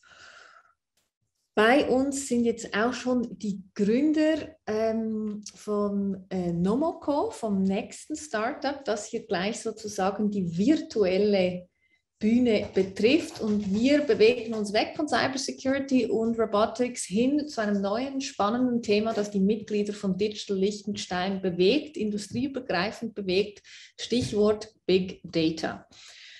Schweizer Tech-Startup Nomoco erschließt die Potenziale der Digital Twins. Auch das ein Stichwort, das wir vorher schon einmal gehört haben, für ganz unterschiedliche Branchen. Und wie genau Nomoco digitale Abbilder nutzt, und wie die Plattform auch funktioniert, ähm, das erklärt uns heute Nilsson Kufus, CEO von Nomoco. Nilsson, herzlich willkommen. Du bist ready, deinen Screen zu sharen mit deiner Präsentation, hoffe ich. Natürlich. Wunderbar. Dann Bühne frei für Nomoco und Nilsson Kufus. Cool. Ähm, Sani, musst du mir geschwind sagen, ob man das Screen sieht? Ja, wunderbar. Danke. Ähm, also zuerst mal vielen, vielen Dank, dass wir hier sein dürfen. Ähm, leider virtuell. Wäre natürlich noch schöner gewesen in Person, aber so ist es nun mal. Ähm, danke auch an Patrick äh, fürs Organisieren und dich, Sani, an die äh, super Wegleitung. Äh, digitaler Zwilling, das ist der Stichwort. Ähm, wir als Firma bezeichnen uns mittlerweile als Digital Twin Company. Ähm, und die Vision, die wir verfolgen, ist, die physische Welt in ein digitales Ökosystem zu verwandeln. Was heißt es auf der einen Seite, ähm, die physische Welt digital zu repräsentieren, digital zu vermessen, ähm, digital auch zu erheben, was andere Daten anbelangt, ähm, zusammen mit Partnern und auf der anderen Seite dann diesen digitalen Zwilling ähm, zusammen mit einem Ökosystem die ganzen Use Cases zu ermöglichen, die auf diesem digitalen Zwilling basieren. Ähm, das ist unser Leitfaden ähm, den wir verfolgen. Ähm, für die, die äh, den MP3 Player heiß geliebt haben. Ich glaube, wir sind ein bisschen am ähnlichen Moment. Ähm, wir haben die Musikindustrie wurde revolutioniert von einem Format, das nennt sich MP3. Und äh, da ist nachher Apple zur welt weltweit führenden Firma geworden mit seinen iPods. Das war der Startpunkt nachher auch fürs iPhone. Ähm, das war also der Startpunkt von der Revolution. Und genauso ähnlich wie dieses MP3 ein Format ist, um Musik digital zu machen, ist der digitale Zwilling eigentlich ein Format, um die physische Welt digital zu machen. Ähm, und das ist genau der Punkt, ähm, an dem wir heute sind. Der digitale Zwilling an sich, der betrifft ähm, ganz, ganz viele Industrien. Der wird in ganz vielen Industrien zum Zug kommen, von Fertigungsketten die digitale Zwillinge haben, bis zur Medizin, wo es einen digitalen Zwilling vom Mensch geben wird. Ähm, wir haben uns jetzt auf den Bereich Real Estate ähm, konzentriert. Warum? Weil die Real Estate-Branche oder Immobilienbranche schlussendlich äh, mit ähm, Häusern, Wohnungen und Co. im Zentrum stehen, wie wir Menschen mit der physischen Welt interagieren. Ob wir es wollen oder nicht, verbringen wir die meiste Zeit in Gebäuden, beim Arbeiten, äh, zu Hause, in Restaurants, beim Sport machen, in den Gyms und so weiter und so fort. So, das ist irgendwo unser Dreh- und Angelpunkt. Ähm, und dadurch ist die Immobilienbranche natürlich auch mit wahnsinnig vielen anderen Branchen direkt oder indirekt verknüpft. Äh, Construction, Government, ähm, Smart Cities ist natürlich sehr direkt damit verknüpft. Äh, was wie Deliveries ist dann eher indirekt, aber spielt natürlich auch eine große Rolle. Wenn wir uns jetzt den digitalen Zwilling auf die Baubranche ähm, applizieren oder auf die Immobilienbranche applizieren, dann heißt es, dass wir eine, eine, eine, gemeinsame Datensprache haben über den gesamten Lifecycle von so einem Gebäude. Also vom Identifizieren und Finden von, von Möglichkeiten, wo man sagt, ich will jetzt alle Gebäude finden, wo ich äh, Stockwerkpotenzial habe und zusätzliche Stockwerke bauen kann, bis hin zur Planung, wo ähm, ich vielleicht Software benutzen kann, die mir helfen, ein generatives Design zu machen und rauszufinden, was kann man denn auf einem konkreten Grundstück genau bauen, bis hin zur Bauumsetzung nachher und dem Management von dem Gebäude muss eigentlich alles eine gemeinsame Datensprache im Hintergrund haben, sodass die verschiedenen Datenpunkte auch in dem Lifecycle miteinander kommunizieren. Ähm, der Approach, den wir genommen haben, ist, einen digitalen Zwilling für jedes Haus zu machen, ähm, das in einem Land existiert. Äh, in der Schweiz sind das 2,7 Millionen Gebäude circa. Ähm, in Liechtenstein sind es ein bisschen weniger. Ähm, aber das ist so die Größenordnung, von denen wir gehen. Wir unterscheiden zwischen zwei fundamentalen Prinzipien. Das eine ist der Open Access Digital Twin. Dort kommen alle Daten rein, die für jeden zugänglich sind und die auch frei verfügbar zugänglich sind. Ähm, das sind also Government-Daten, das sind Open Data, das sind Daten, die wir selber sammeln, die wir dort frei zugänglich machen. Und dann gibt es den Private Digital Twin, wo alles reinkommt, was private Daten sind. Entweder Daten, für die man zahlen muss, oder Daten, die man selber hinzufügt, wie zum Beispiel ein Mieterspiegel oder ein CAD-File oder ein BIM-File, würde dann natürlich nur in, äh, im privaten Zugang verfügbar sein. Ganz kurz zu dem, was wir machen. Auf der Datenfront, wir sammeln selber Daten, habe ich kurz gesagt, äh, das vor allem im 3D-Bereich. Ähm, wir akquirieren 3D-Daten im Bereich von 1,2 Zentimeter von ganzen Städten oder auch von ähm, kleineren Arealen, ähm, äh, prozessieren das und vor allem strukturieren und organisieren wir alle Daten, die reinkommen und machen für einen gewissen Teil auch noch Data Science, äh, wie zum Beispiel das Rausfinden der Ausnutzungsziffer für die Immobilie. Das Ganze wird bisschen wie ein Google Maps Interface an den Endkonsumenten dann geliefert. Ähm, es ist wirklich ein Ort, wo alles zusammenkommt. Ähm, sieht, kommt sehr daher wie eine, wie eine Karte, wo jedes Gebäude dann äh, clickable ist, man alle grundsätzlichen Informationen dort findet. Und ganz wichtig ist auch ein Ökosystem, das wird jetzt im Oktober gelauncht, wo andere Firmen ihre Daten und ihre Services mit reinbringen können. Das heißt, ich kann aus dem gleichen Interface dann von Third Parties äh, dort die Services rund um den digitalen Zwilling ähm, mir kaufen und dazu buchen. Das ist ganz wichtig, dort ein Ökosystem aufzubauen. Ich habe es vorher schon ganz kurz gesagt, wir machen das im 3D-Bereich auch on demand. Und da will ich dann doch auch noch ein kleines Beispiel machen, zum Beispiel wie die äh, CAD-Integration läuft. Das heißt, ähm, ein Architekt kann hier das Modell nehmen, kann es in die Umgebung einsetzen und bekommt so sehr schnell eine Übersicht, die kommunizierbar ist und kommuniziert werden kann die Gemeinden verstehen ganz schnell, was ist der Schattenwurf. Die Nachbarn merken, ah, der Schatten betrifft mich ja gar nicht so weit. Und wir haben so eine sehr kommunikative Art und Weise, das visuell darzustellen. Ähm, das ist so eins der vielen Use Cases von einem digitalen Zwilling, ähm, die sehr schnell dann auch zu einem äh, super Resultat führen. Wo kann die Reise hingehen? Ähm, das so kleiner als äh, klitzekleiner Teaser. Das ist die Qualität, die erreicht werden kann. Ähm, wenn man nachher Drohnenaufnahmen und Straßenaufnahmen kombiniert, dann können wir also wirklich eine digitale Repräsentation von der Welt schaffen, die sehr, sehr genau wird, viel, viel genauer als Google Earth ähm, und können hier sogar dann äh, es regnen lassen, virtuell sozusagen. Diesen Sommer leider äh, ganz oft auch real passiert, aber das ist jetzt alles in einer sogenannten Game Engine, also das ist alles simuliert. Ähm, da können wir x-beliebige Sachen machen, dann in dieser ähm, digitalen Repräsentation der Welt, in der wir leben. Ähm, das ist es zu uns als Firma. Ähm, wir haben, glaube ich, ganz viele Touchpoints, gerade mit der Immobilienbranche, aber auch mit anderen Betrieben, die le mehr lernen wollen über digitale Zwillinge. Und auch dort, äh, glaube ich, stehen wir einfach zur Verfügung, um unser Wissen zu teilen. Wir haben mittlerweile, glaube ich, sehr viel verstanden, wo digitale Zwillinge wirklich Sinn machen. Ist ein Buzzword geworden, wie so ein bisschen Machine Learning ähm, und teilen dort auch gerne unsere Erfahrungen, auch wenn es jetzt nicht im Immobilienbereich ist, weil ich glaube, das gehört einfach zu unserer Aufgabe dazu, auch unsere Erfahrungen dort ähm, zu teilen. Ja, vielen Dank, Nilsson. Ähm, einen kennt schon der virtuelle Applaus, der ganz tosend laut ist, den man sich vorstellen darf.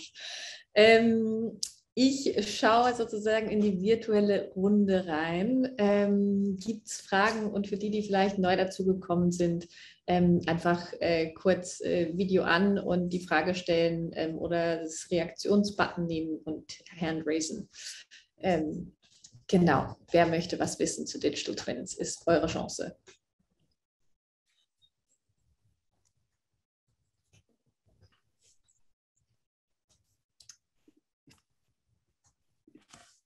Ja, Markus, Geschäftsführer von Digital Liechtenstein himself. Im Self, ja, ich habe natürlich keine Berührungsängste, weil ich mit dir ja schon hier drin war. Also ich finde es super, ich kenne euch schon, also schon gesehen über Christian Wolf, ich, ich finde das super. Kannst du nochmals, das mit dem Haus war natürlich ein sehr gutes Beispiel und Immobilienbranche, klar. Könntest du noch ein bisschen mehr für andere Branchen, Industrie, Finance und so, Dienstleistungsgewerbe klassisch, noch ein bisschen mehr die Anwendungsmöglichkeit und den ganz konkreten Nutzen sagen? Das wäre spannend. Ja, also ich kann, ich kann vielleicht mal in den, in den ähm, ich muss mal aufpassen, was Leute machen und was ich sagen darf und was ich nicht sagen darf. Ähm, ähm, also ein Anwendungsgebiet zum Beispiel ist, äh, in dem Moment, wo ich einen digitalen Zwilling wirklich, ähm, ich sag mal, regionsübergreifend habe, ähm, dass ich dann natürlich anfangen äh, kann, Voraussagen zu machen. Also zum Beispiel, ich will jetzt alle, ähm, ich bleibe jetzt mal in der Immobilienbranche einfach aus, als Beispiel raus, ich will jetzt anfangen, alle Häuser zu kategorisieren nach gewissen ähm, Standards, nach gewissen zum Beispiel Investmentkriterien, aber auch nach Energiekriterien. Dann kann ich das flächendeckend machen. So kann ich dann hingehen und sagen, was wären denn die 100 attraktivsten ähm, äh, äh, Grundstücke in einem Land,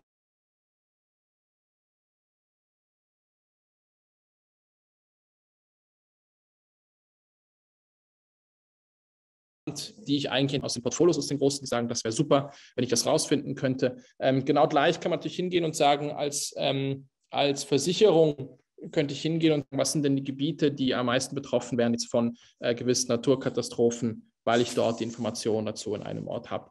Das sind so die Klassiker aus den anderen Branchen. Wir können ganz verrückt werden und zum Beispiel das Fahren von ähm, selbstfahrenden Autos simulieren und sagen, ich habe dort eine virtuelle Welt, die das repräsentiert und kann dort drin eigentlich alles ausprobieren und trainieren, ähm, was für Eventualitäten auf so ein autonomes Fahrzeug hinzukommen können. Ähm, auch das ist im Prinzip dann in so einem digitalen Zwilling möglich. Habt ihr den für Kunden im Moment, wenn ich fragen darf? Ja, also alles in der Immobilienbranche, eigentlich von Architekten bis ähm, äh, Entwickler zu den Maklern, aber auch zu den Gemeinden selber. Also es kommt sehr auf den, auf den Case drauf an oder auf den speziellen Use Case. Ähm, das sind aber alles Kundengruppen heute, ähm, die wir bespielen, äh, weil sie immer aus einem anderen Engel kommen. Also der Architekt, der den, den, den, im Prinzip die Umgebung verstehen will, die Gemeinde, die eine Baueingabe verstehen will und das ähm, einschätzen will, ob eine neue Baueingabe ins, ins Gesamtbild passt oder auch zum Beispiel eine Städteplanung machen will, ähm, die sie den gesamten Kontext braucht ähm, und dort eine Landschaftsplanung auch dann im Kontext äh, beurteilen will ähm, äh, bis hin zu den Vermarktern, die natürlich sagen, das ist super, um nachher die Immobilie verkaufen zu können, ähm, um dort ein Standortbeispiel zu machen. Ähm, das sind alles die Anwendungen, die heute schon äh, so auch am Markt sind und, und äh, reichlich genutzt werden, zum Glück. Danke. Danke. Weitere Fragen? Ansonsten würde ich im Interesse der Zeit sagen, dass wir zum nächsten Pitch übergehen. Letzte Chance. Die Auktion ist beendet. Ja. Zack. muss schnell sein in dieser virtuellen Welt. Nilsson, vielen, vielen Dank. Ähm, es gibt ja auch die Breakout-Sessions und das habe ich schon mal gesagt, ähm, wenn man jetzt irgendwie da ein bisschen überfordert ist mit dieser Schnelligkeit ähm, oder auch gerade was anderes am Tun ist, ähm, wir Multitasker, ähm, die es da so gibt, äh, immer mehr von uns, ähm, dann kann man nachher nochmal im Breakout-Session mit dir dazu sprechen. Vielen, vielen Dank. Und es geht weiter hier. Und zwar ähm, ist Pitch Nummer 5, den wir heute hören, OptioPay, ein Fintech und ähm, da gucke ich ganz kurz in die Runde, genau. Der Oliver Oster, Co-Founder und CEO, ist nämlich schon bei uns dabei. Ähm, man liest hier Open Banking Komplettlösung ohne IT-Integration. Das hört sich schon mal spannend an. Jetzt, wie das genau funktioniert, erklärt uns Olli, glaube ich, am besten selbst. Gerne dies, äh, den äh, Screen sharen und einfach loslegen. Herzlich willkommen, Olli.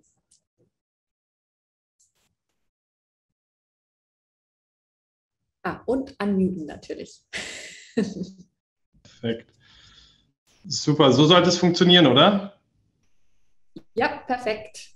Perfekt. Dann ähm, ja, herzlichen Dank auf jeden Fall für die Einladung, um OptoPay hier vorzustellen. Ähm, die auch schon eingangs gesagt, äh, wir sind ein Open Banking slash Open Data Plattform Provider, der Kunden dazu bewegt, ähm, seine Daten äh, mit der Plattform zu teilen Und diese Daten stellen wir dann ähm, dem Unternehmen, mit dem wir zusammenarbeiten, äh, ausgewertet zur Verfügung und gleichzeitig platzieren wir auch die Angebote der jeweiligen Unternehmen dann auf der Plattform, äh, sodass neue Umsätze ähm, erzielt werden durch den Verkauf der eigenen Produkte. Aber gleichzeitig können natürlich auch Drittangebote auf der Plattform den Kunden angeboten werden, sodass dadurch auch wieder neue Umsätze erzielt werden.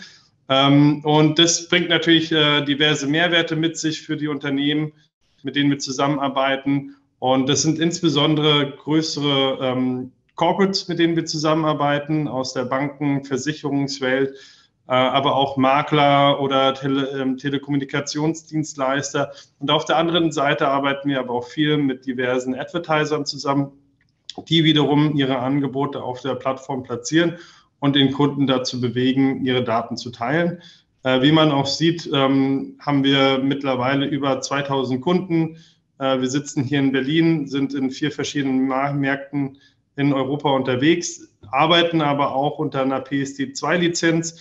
Äh, so wie ich in Erfahrung bringen konnte, Liechtenstein arbeitet auch unter der PSD2-Regulatorik, sodass eben auch in dem Land Liechtenstein beziehungsweise auch in den umgrenzenden Ländern natürlich PSD2 immer mehr ein Thema wird. Und im Endeffekt, was wir sagen, ist, äh, dass die Kunden immer mehr personalisierte Angebote und Services von ihren, ähm, von ihren Vertragspartnern erwarten. Und äh, das kann man natürlich nur dadurch bewerkstelligen, wenn wir genug Daten von den Kunden haben, um eben zur richtigen Zeit am richtigen Ort das richtige Angebot auszuspielen. Und deswegen glauben wir auch daran, dass Open Data ähm, diesen ganzen Kunden-Lifecycle komplett verändern wird und wir viel mehr Möglichkeiten haben werden, den Kunden die richtigen Angebote zur richtigen Zeit auszustrahlen. Ähm, denn es ist, glaube ich, ähm, jedem mittlerweile klar, dass eben Daten äh, das Öl der Zukunft oder das Gold der Zukunft sind. Und unsere Analysen beziehungsweise auch die Analysen und Research Papers von diversen Beratungen haben ergeben, dass die Kunden nun mal bereit sind, ihre Daten zu teilen gegen Mehrwerte.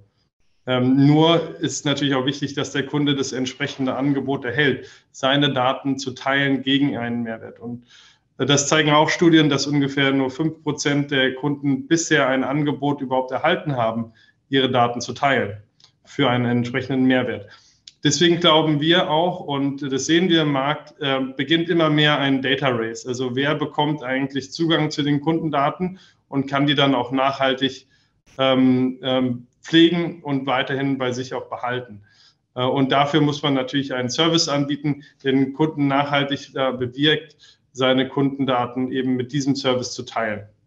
Was wir anbieten, ist eine Komplettlösung, um den Datenzugang zu diesen Kundendaten herzustellen und ein fortlaufendes Serviceangebot dem Kunden zu unterbreiten, damit er langfristig seine Kundendaten ähm, mit dem Unternehmen teilt.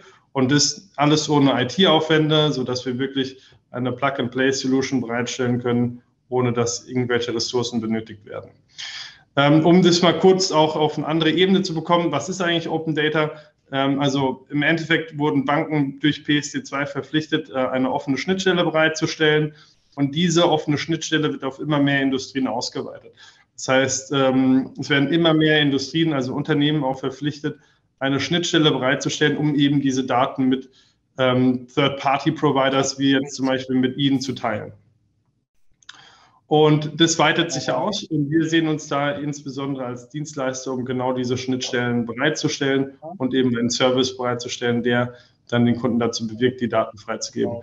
Wie sieht es ungefähr aus? Ähm, der, der Kunde erhält eine komplett white Lösung von uns. Und ähm, ich glaube, irgendeiner ist nicht auf Mute, aber das ist auch nicht so schlimm ähm, dass äh, der Kunde bereit, äh, der, der Kunde wird ein Angebot unterbreitet, dass er jetzt sein Bankkonto verbinden kann oder irgendeine eine andere Datenquelle.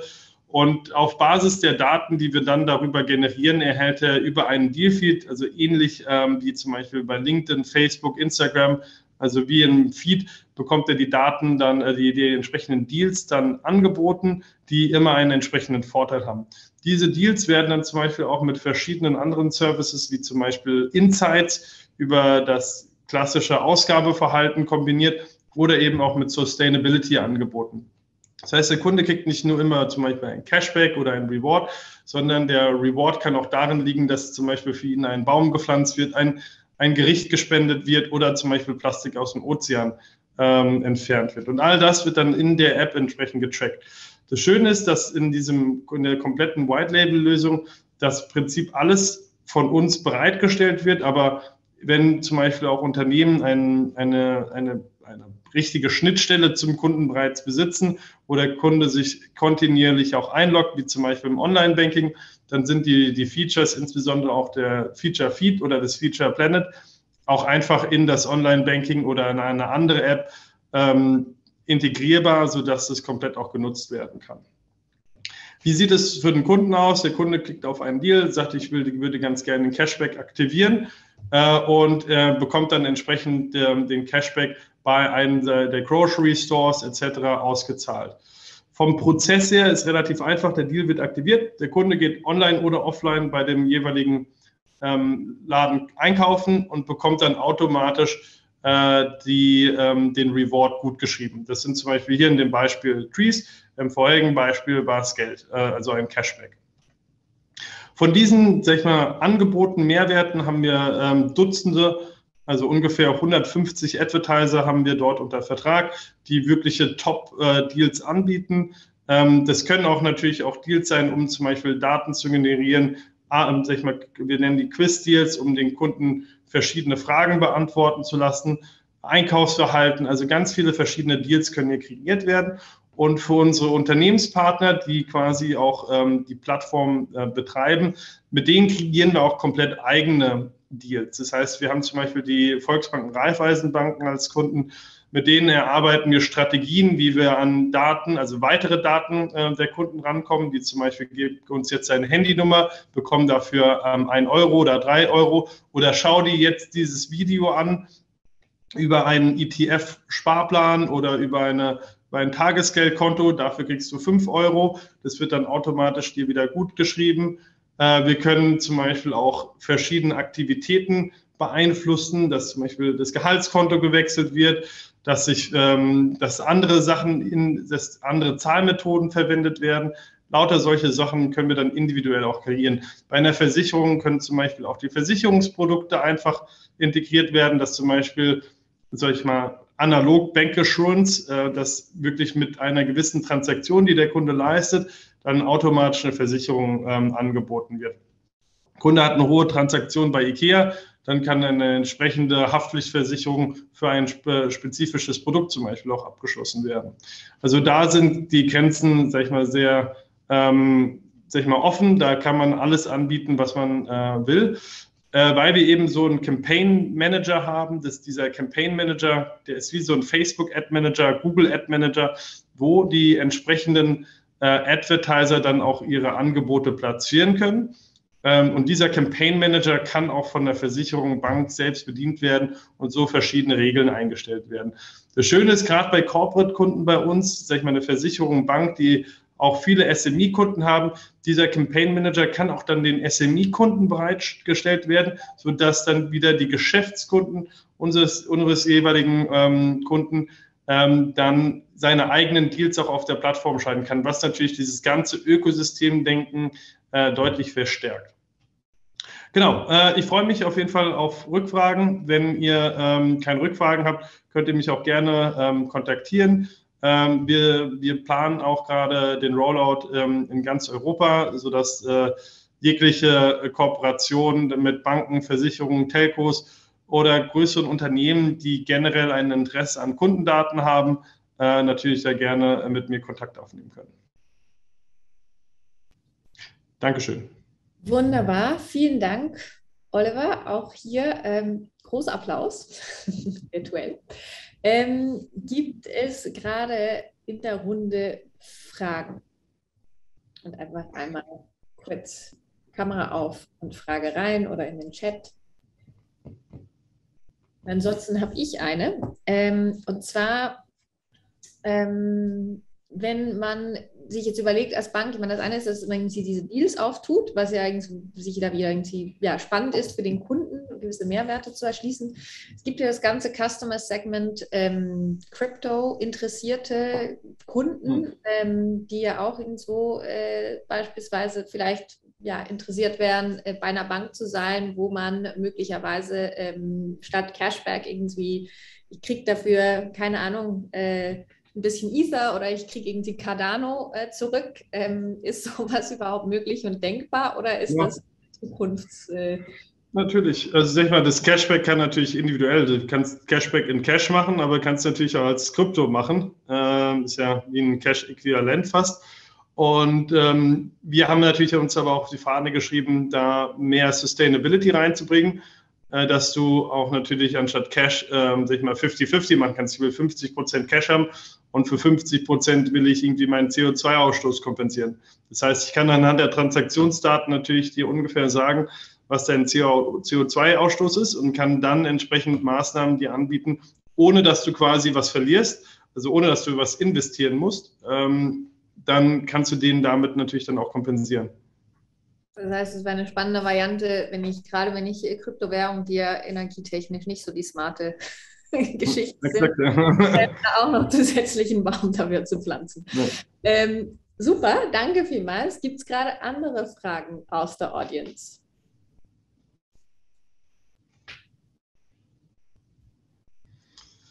Ja, sonst hat, kann man ja auf dich zugehen.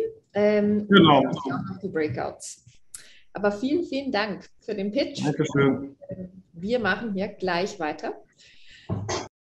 Der last but not least, äh, der nächste Gründer ist auch schon ready, und zwar Nils Berger, ähm, CEO und Inhaber von Viewpoint System. Und wir sind ja jetzt einmal so wirklich durch die verschiedensten Themenfelder gegangen, die äh, Digital Liechtenstein-Mitglieder vorgeschlagen haben, äh, von Cybersecurity zu Robotics zu Fintech. Ähm, und jetzt eben sind wir bei einem ganz spannenden Gerät.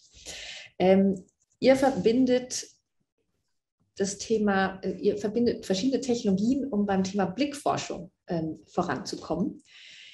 Was genau ist Viewpoint Systems und wie funktioniert Viewpoint Systems? Das werden wir gleich erleben. Und ich begrüße ganz herzlich die Bühne ist dir. Danke dir vielmals, Dani. Hallo zusammen in die Runde. Ähm, ich mache das mal wirklich in, in, in einer Präsentation im Sinne einer Demo. Das heißt, ich habe keine PowerPoint-Präsentation. Ich mache das aber generell ohne PowerPoint-Präsentation, weil ich das einfach immer spannender finde. Die zweite Frage ist Dialekt oder Hochdeutsch. Gibt es eine Präferenz? Grundsätzlich sind wir auf Hochdeutsch unterwegs.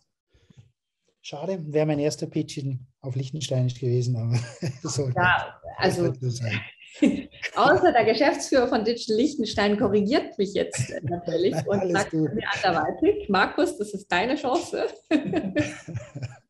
Alles gut. So, vielen Dank für ähm, die Einladung. Ähm, ja, wer sind wir, was machen wir? Ich mache das gerade am, am System selber.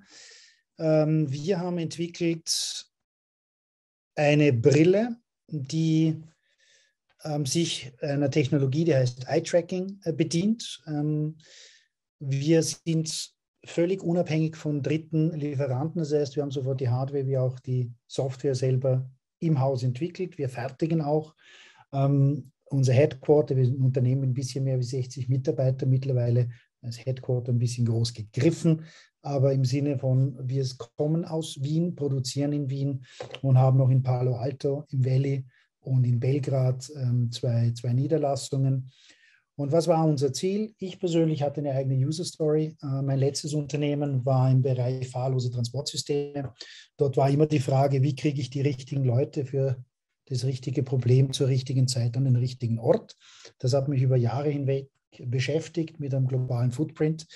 Und das war genau der Grund, als ich über das Thema Eye-Tracking gestolpert bin, weil ich, und das zeige ich einfach nachher, da muss ich es nicht groß erklären, weil wir in der Lage sind, ohne irgendwie zusätzliche Infrastruktur, ohne App, ohne Server, ähm, einen Stream aufzubauen, der den Fokus des Trägers visualisiert und somit dem Experten ganz einfach ermöglicht, ihn durch eine komplexe Situation zu leiten. Dabei hat er auch noch Ton, auf dem Ohr. Das heißt, es ist wirklich ein Videostreaming. Und ich gehe es einfach mal schnell Punkt für Punkt durch. Brille, 43 Gramm, hat eine Sicherheitsfreigabe E166N, heißt, sie ist dafür designt, dass ich sie nicht über meiner Brille trage, sondern ich habe austauschbare geschliffene Gläser, die ich reinklicken kann in den Rahmen und damit habe ich es auf meine Sehstärke angepasst. Zum Zweiten EN166S, das heißt, es ist dafür designt, im industriellen Umfeld getragen zu werden mit dem ähm, vielleicht ganz wichtigen Beisatz, dass ich keine zusätzliche Schutzbrille dann äh, brauche. Ähm, meine Augen sind geschützt. 43 Gramm, das war uns wahnsinnig wichtig. Es muss leicht sein und es muss sozial akzeptabel sein. So, das ist also das, sage ich mal, das Elementare. Dann haben wir eine sogenannte Smart Unit. Ähm, das ist unser mobiler Computer, auch von uns entwickelt, ist Linux-basiert, hat Multitouch-Display, hat einen austauschbaren Akku. Das heißt, ich kann bei laufendem Betrieb weiterarbeiten, hat 4G Plus, Wi-Fi, 9 Dorfsensor, Wi-Fi, äh, habe ich schon gesagt, Entschuldigung, Bluetooth etc. an Bord. Das ist so unser Powerpack. Wieso haben wir das in ein externes System gegeben, das ich am Gürtel trage oder in der Brusttasche? Ganz einfach. Ähm, alles, was Strahlung emittiert, soll nicht am Kopf sein. Das heißt, ich will nicht einen Wi-Fi-Hotspot Spot äh, kontinuierlich im Kopf tragen oder ein LTE-Modul.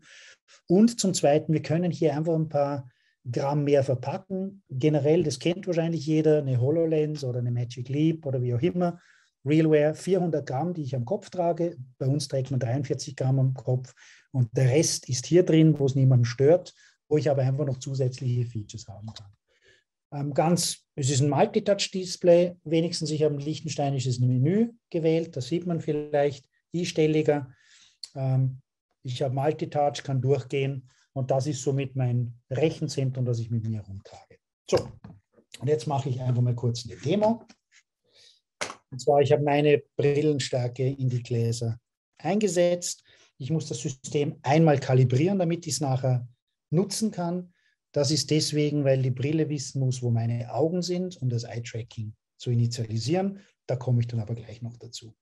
Das heißt, das schaut aus eurer Perspektive so aus, ich muss fünf Punkte kalibrieren im Raum, damit das System wirklich sicherstellen kann, dass es präzise ist. Habe dann hier oben einen Live-Button, da klicke ich drauf und jetzt versuche ich einen Screenshare zu machen und wenn mir das gelingt, ist das eh schon die halbe Miete. Natürlich funktioniert es nicht, wie soll es auch sein? So, das ist der Klassiker. Jetzt wäre ich froh, wenn irgendjemand in Liechtenstein kurz eine Homepage öffnen kann, weil mein Zoom lässt mich keinen Screenshare machen. Ähm, welche Homepage sollte man?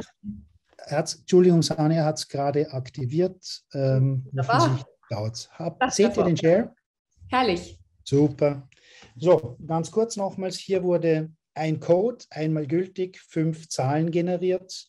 Den gebe ich jetzt hier unten ein. Das ist die 99419.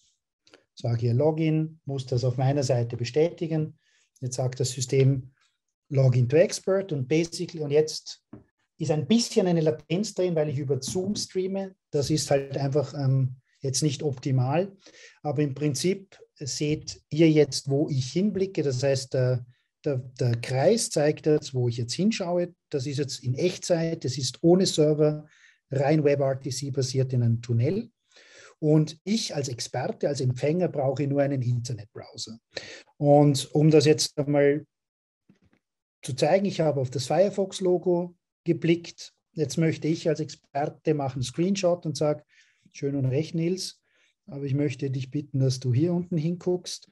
Und dann hätte ich noch eine Frage. Gib mir mal die, äh, die Kantenbreite von hier oben. Ich kann freihändig reinzeichnen, ich kann Dokumente hochladen, Bilder, Manuals, Videodateien, wie auch immer. Ähm, Damit es noch ein bisschen mehr ausschaut, mache ich noch ein bisschen mehr Reingemale.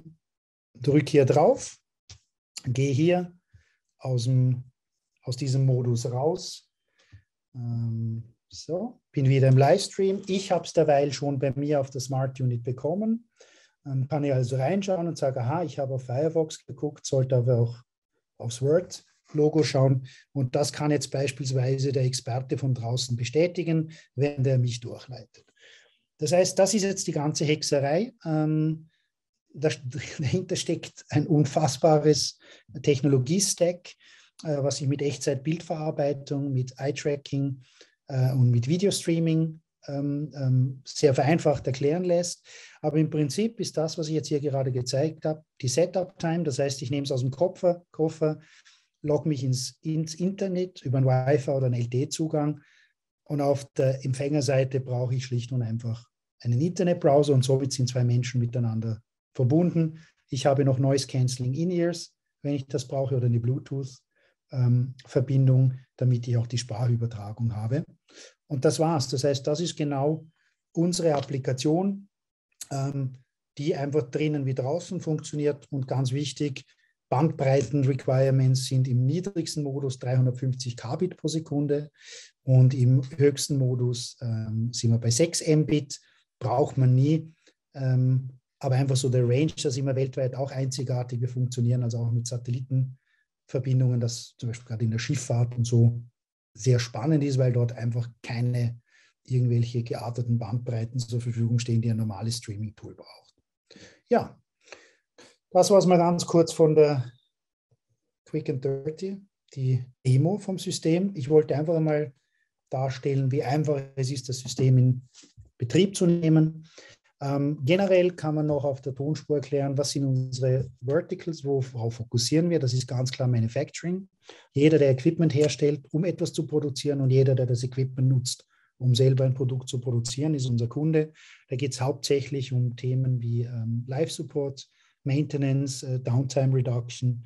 Ähm, das sind so die Hauptanwendungsfälle. Wir sind natürlich durch Corona ähm, Profiteure geworden, weil das Thema Fernwartung, Fernunterstützung ähm, eine andere Relevanz bekommen hat und äh, mittlerweile die meisten unserer Kunden ähm, auch uns das, die Rückmeldung geben, dass sie wissen, dass das sich nicht mehr verändern wird. Das heißt, man hat einfach gelernt, ich muss nicht wegen jedem Blödsinn jemanden durch die halbe Welt schicken. Deswegen kommt natürlich auch unser System verstärkt zum Tragen. Das freut uns.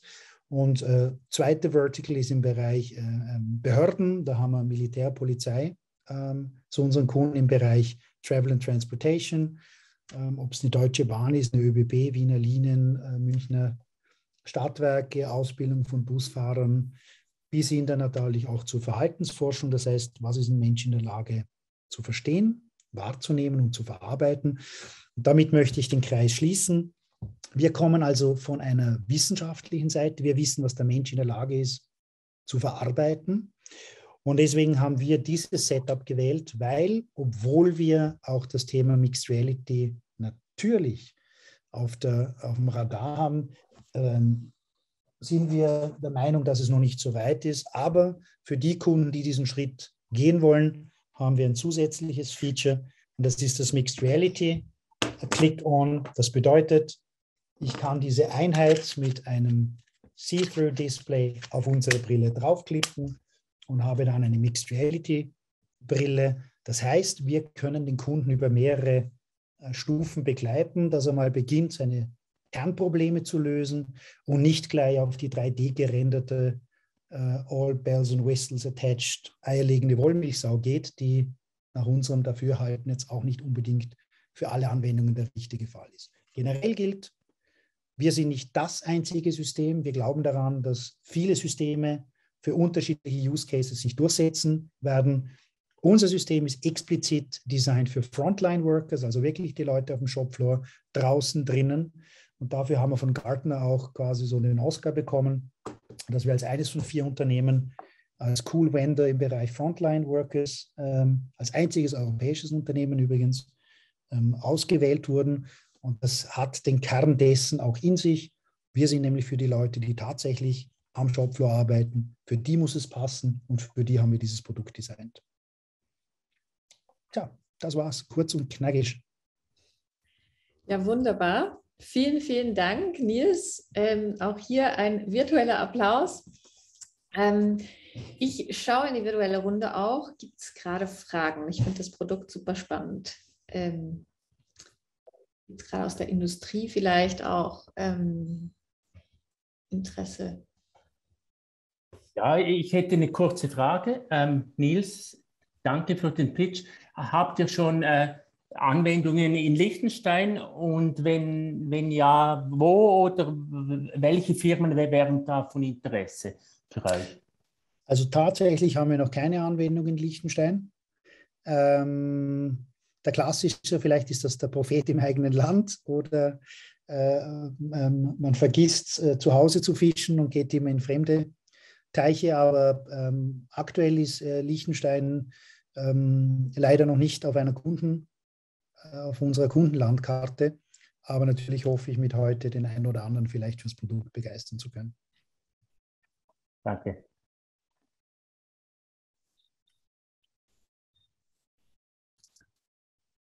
Ja, weitere Fragen.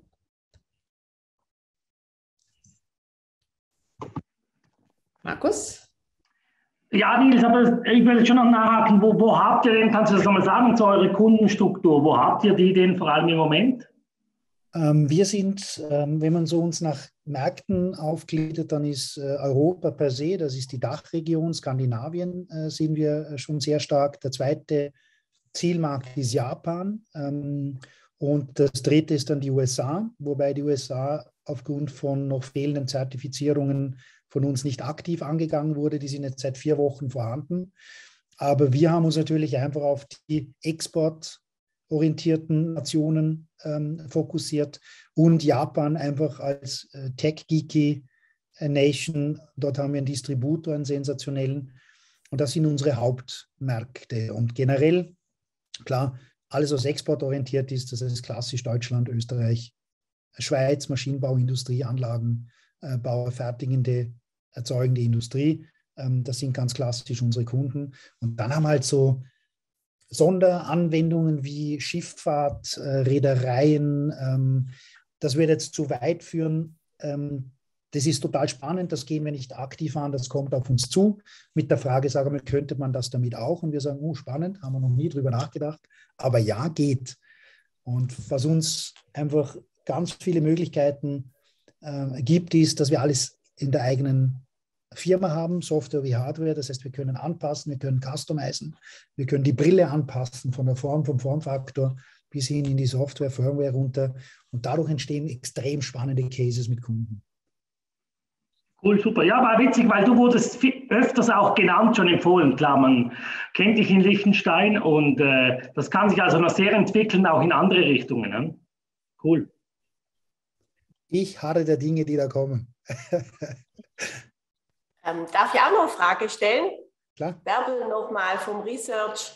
Ähm, mich würde noch das Geschäftsmodell interessieren. Ihr verkauft die Brille, mhm. macht ihr auch was mit den Daten? Nein. Also, also heutiges Geschäftsmodell ist äh, DSGVO getrieben. Wir sind ein europäisches Unternehmen. Das heißt, was wir machen, wir verkaufen die Hardware und eine Software as a Service, also diese Streaming-Plattform, die, die kauft man dazu. Aber uns war von Anfang an extrem wichtig, dass wir mit den Daten selber nichts zu tun haben. Das bedeutet, ähm, wir haben keinen Zugriff auf die Daten. Wir wissen auch nicht, was gestreamt wird, weil wir nur dafür sorgen, dass die richtigen beiden miteinander reden dürfen. Und dann hängen wir das in einen Tunnel, peer-to-peer. -peer. Ähm, das heißt, wir haben keinen Zugriff. Wie es in der Zukunft ausschauen wird, da würde ich jetzt, glaube ich, äh, die Unwahrheit erzählen, wenn ich sagen würde, natürlich denken wir darüber nach, äh, wie man die Daten, die wir generieren, die höchst persönlich sind, weiter nutzen kann, weil das muss man auch wissen, wir haben eine Technologieplattform entwickelt und das ist das erste Produkt, was wir rausgefahren haben. Das heißt, wir haben nicht dieses Produkt entwickelt, sondern etwas, das nennt sich Digital Iris. Und wir sehen die Digital Iris als zukünftige Schnittstelle zwischen virtueller Information und dem Menschen. Und die Schnittstelle sind wir der Überzeugung, werden die Augen sein. Deswegen ist Daten natürlich in der Zukunft Teil unseres Businessmodells und Business Cases. Okay, danke schön. Viel Erfolg. Danke. Heiko, du bist zurück. Hattest du noch eine Frage? Alles gut, wunderbar. Ähm, dann würde ich Nils dich äh, ganz herzlich verdanken, auch äh, für die spannenden Insights und für diese Live-Demo, ähm, dass wir das noch hingekriegt haben. Hervorragend.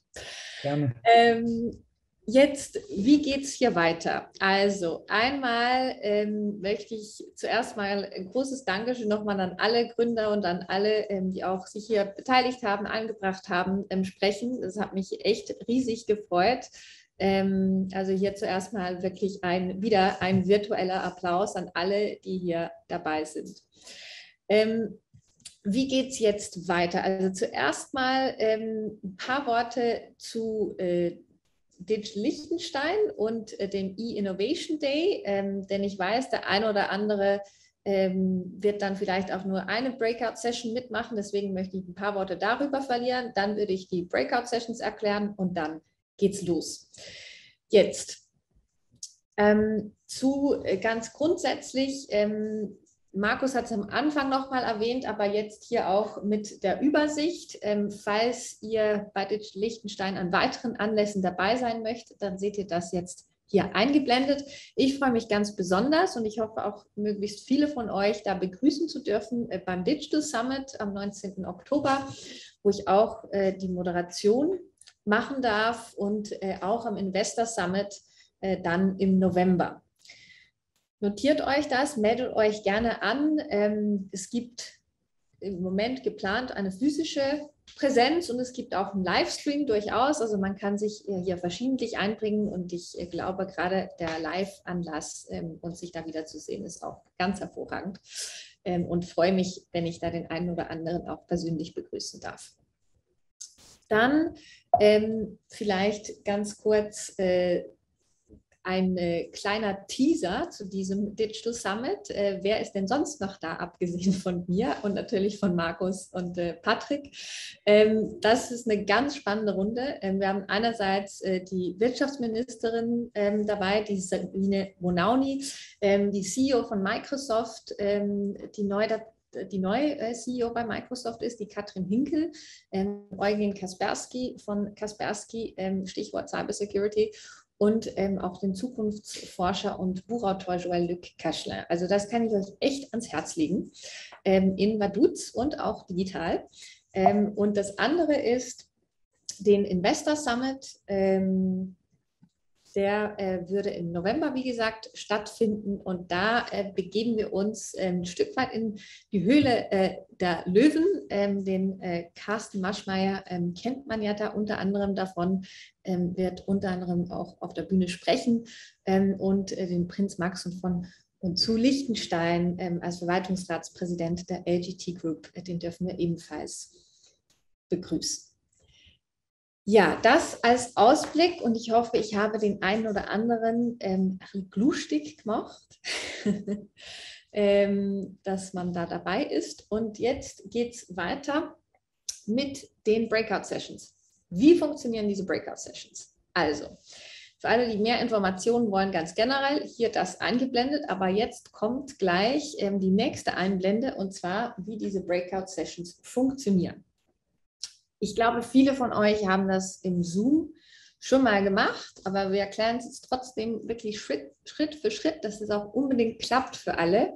Ähm, das Ziel dieser Breakout-Räume ist wirklich, während 15 Minuten nochmal in einem kleineren Kreis ähm, das Gespräch zu suchen. Man stelle sich vor, ähm, das ist so ein bisschen der virtuelle Apero, wo man äh, gemeinsam äh, ansteht und äh, nochmal irgendwie verstehen will, ja, was genau machst du und wie genau funktioniert das und wie wäre das mit meinem ganz konkreten Case, dass man das nochmal kurz bespricht, ohne dass man jetzt da noch äh, einen separaten Termin vereinbaren müsste. Also einmal unten auf die Breakout Rooms klicken. Das wäre ähm, für jeden Teilnehmer dann die Idee. Dann werdet ihr genau äh, sowas aufpoppen sehen, wie ihr hier seht. Ähm, und dann müsst ihr mit der Maus ähm, wirklich über diese blaue Ziffer hovern, ähm, damit äh, ihr wirklich auch die Breakout-Session auswählt mit dem Gründer und dem Unternehmen, äh, das für euch auch spannend und relevant ist. Dann klickt ihr auf Join und dann seid ihr in dem Breakout-Room dabei.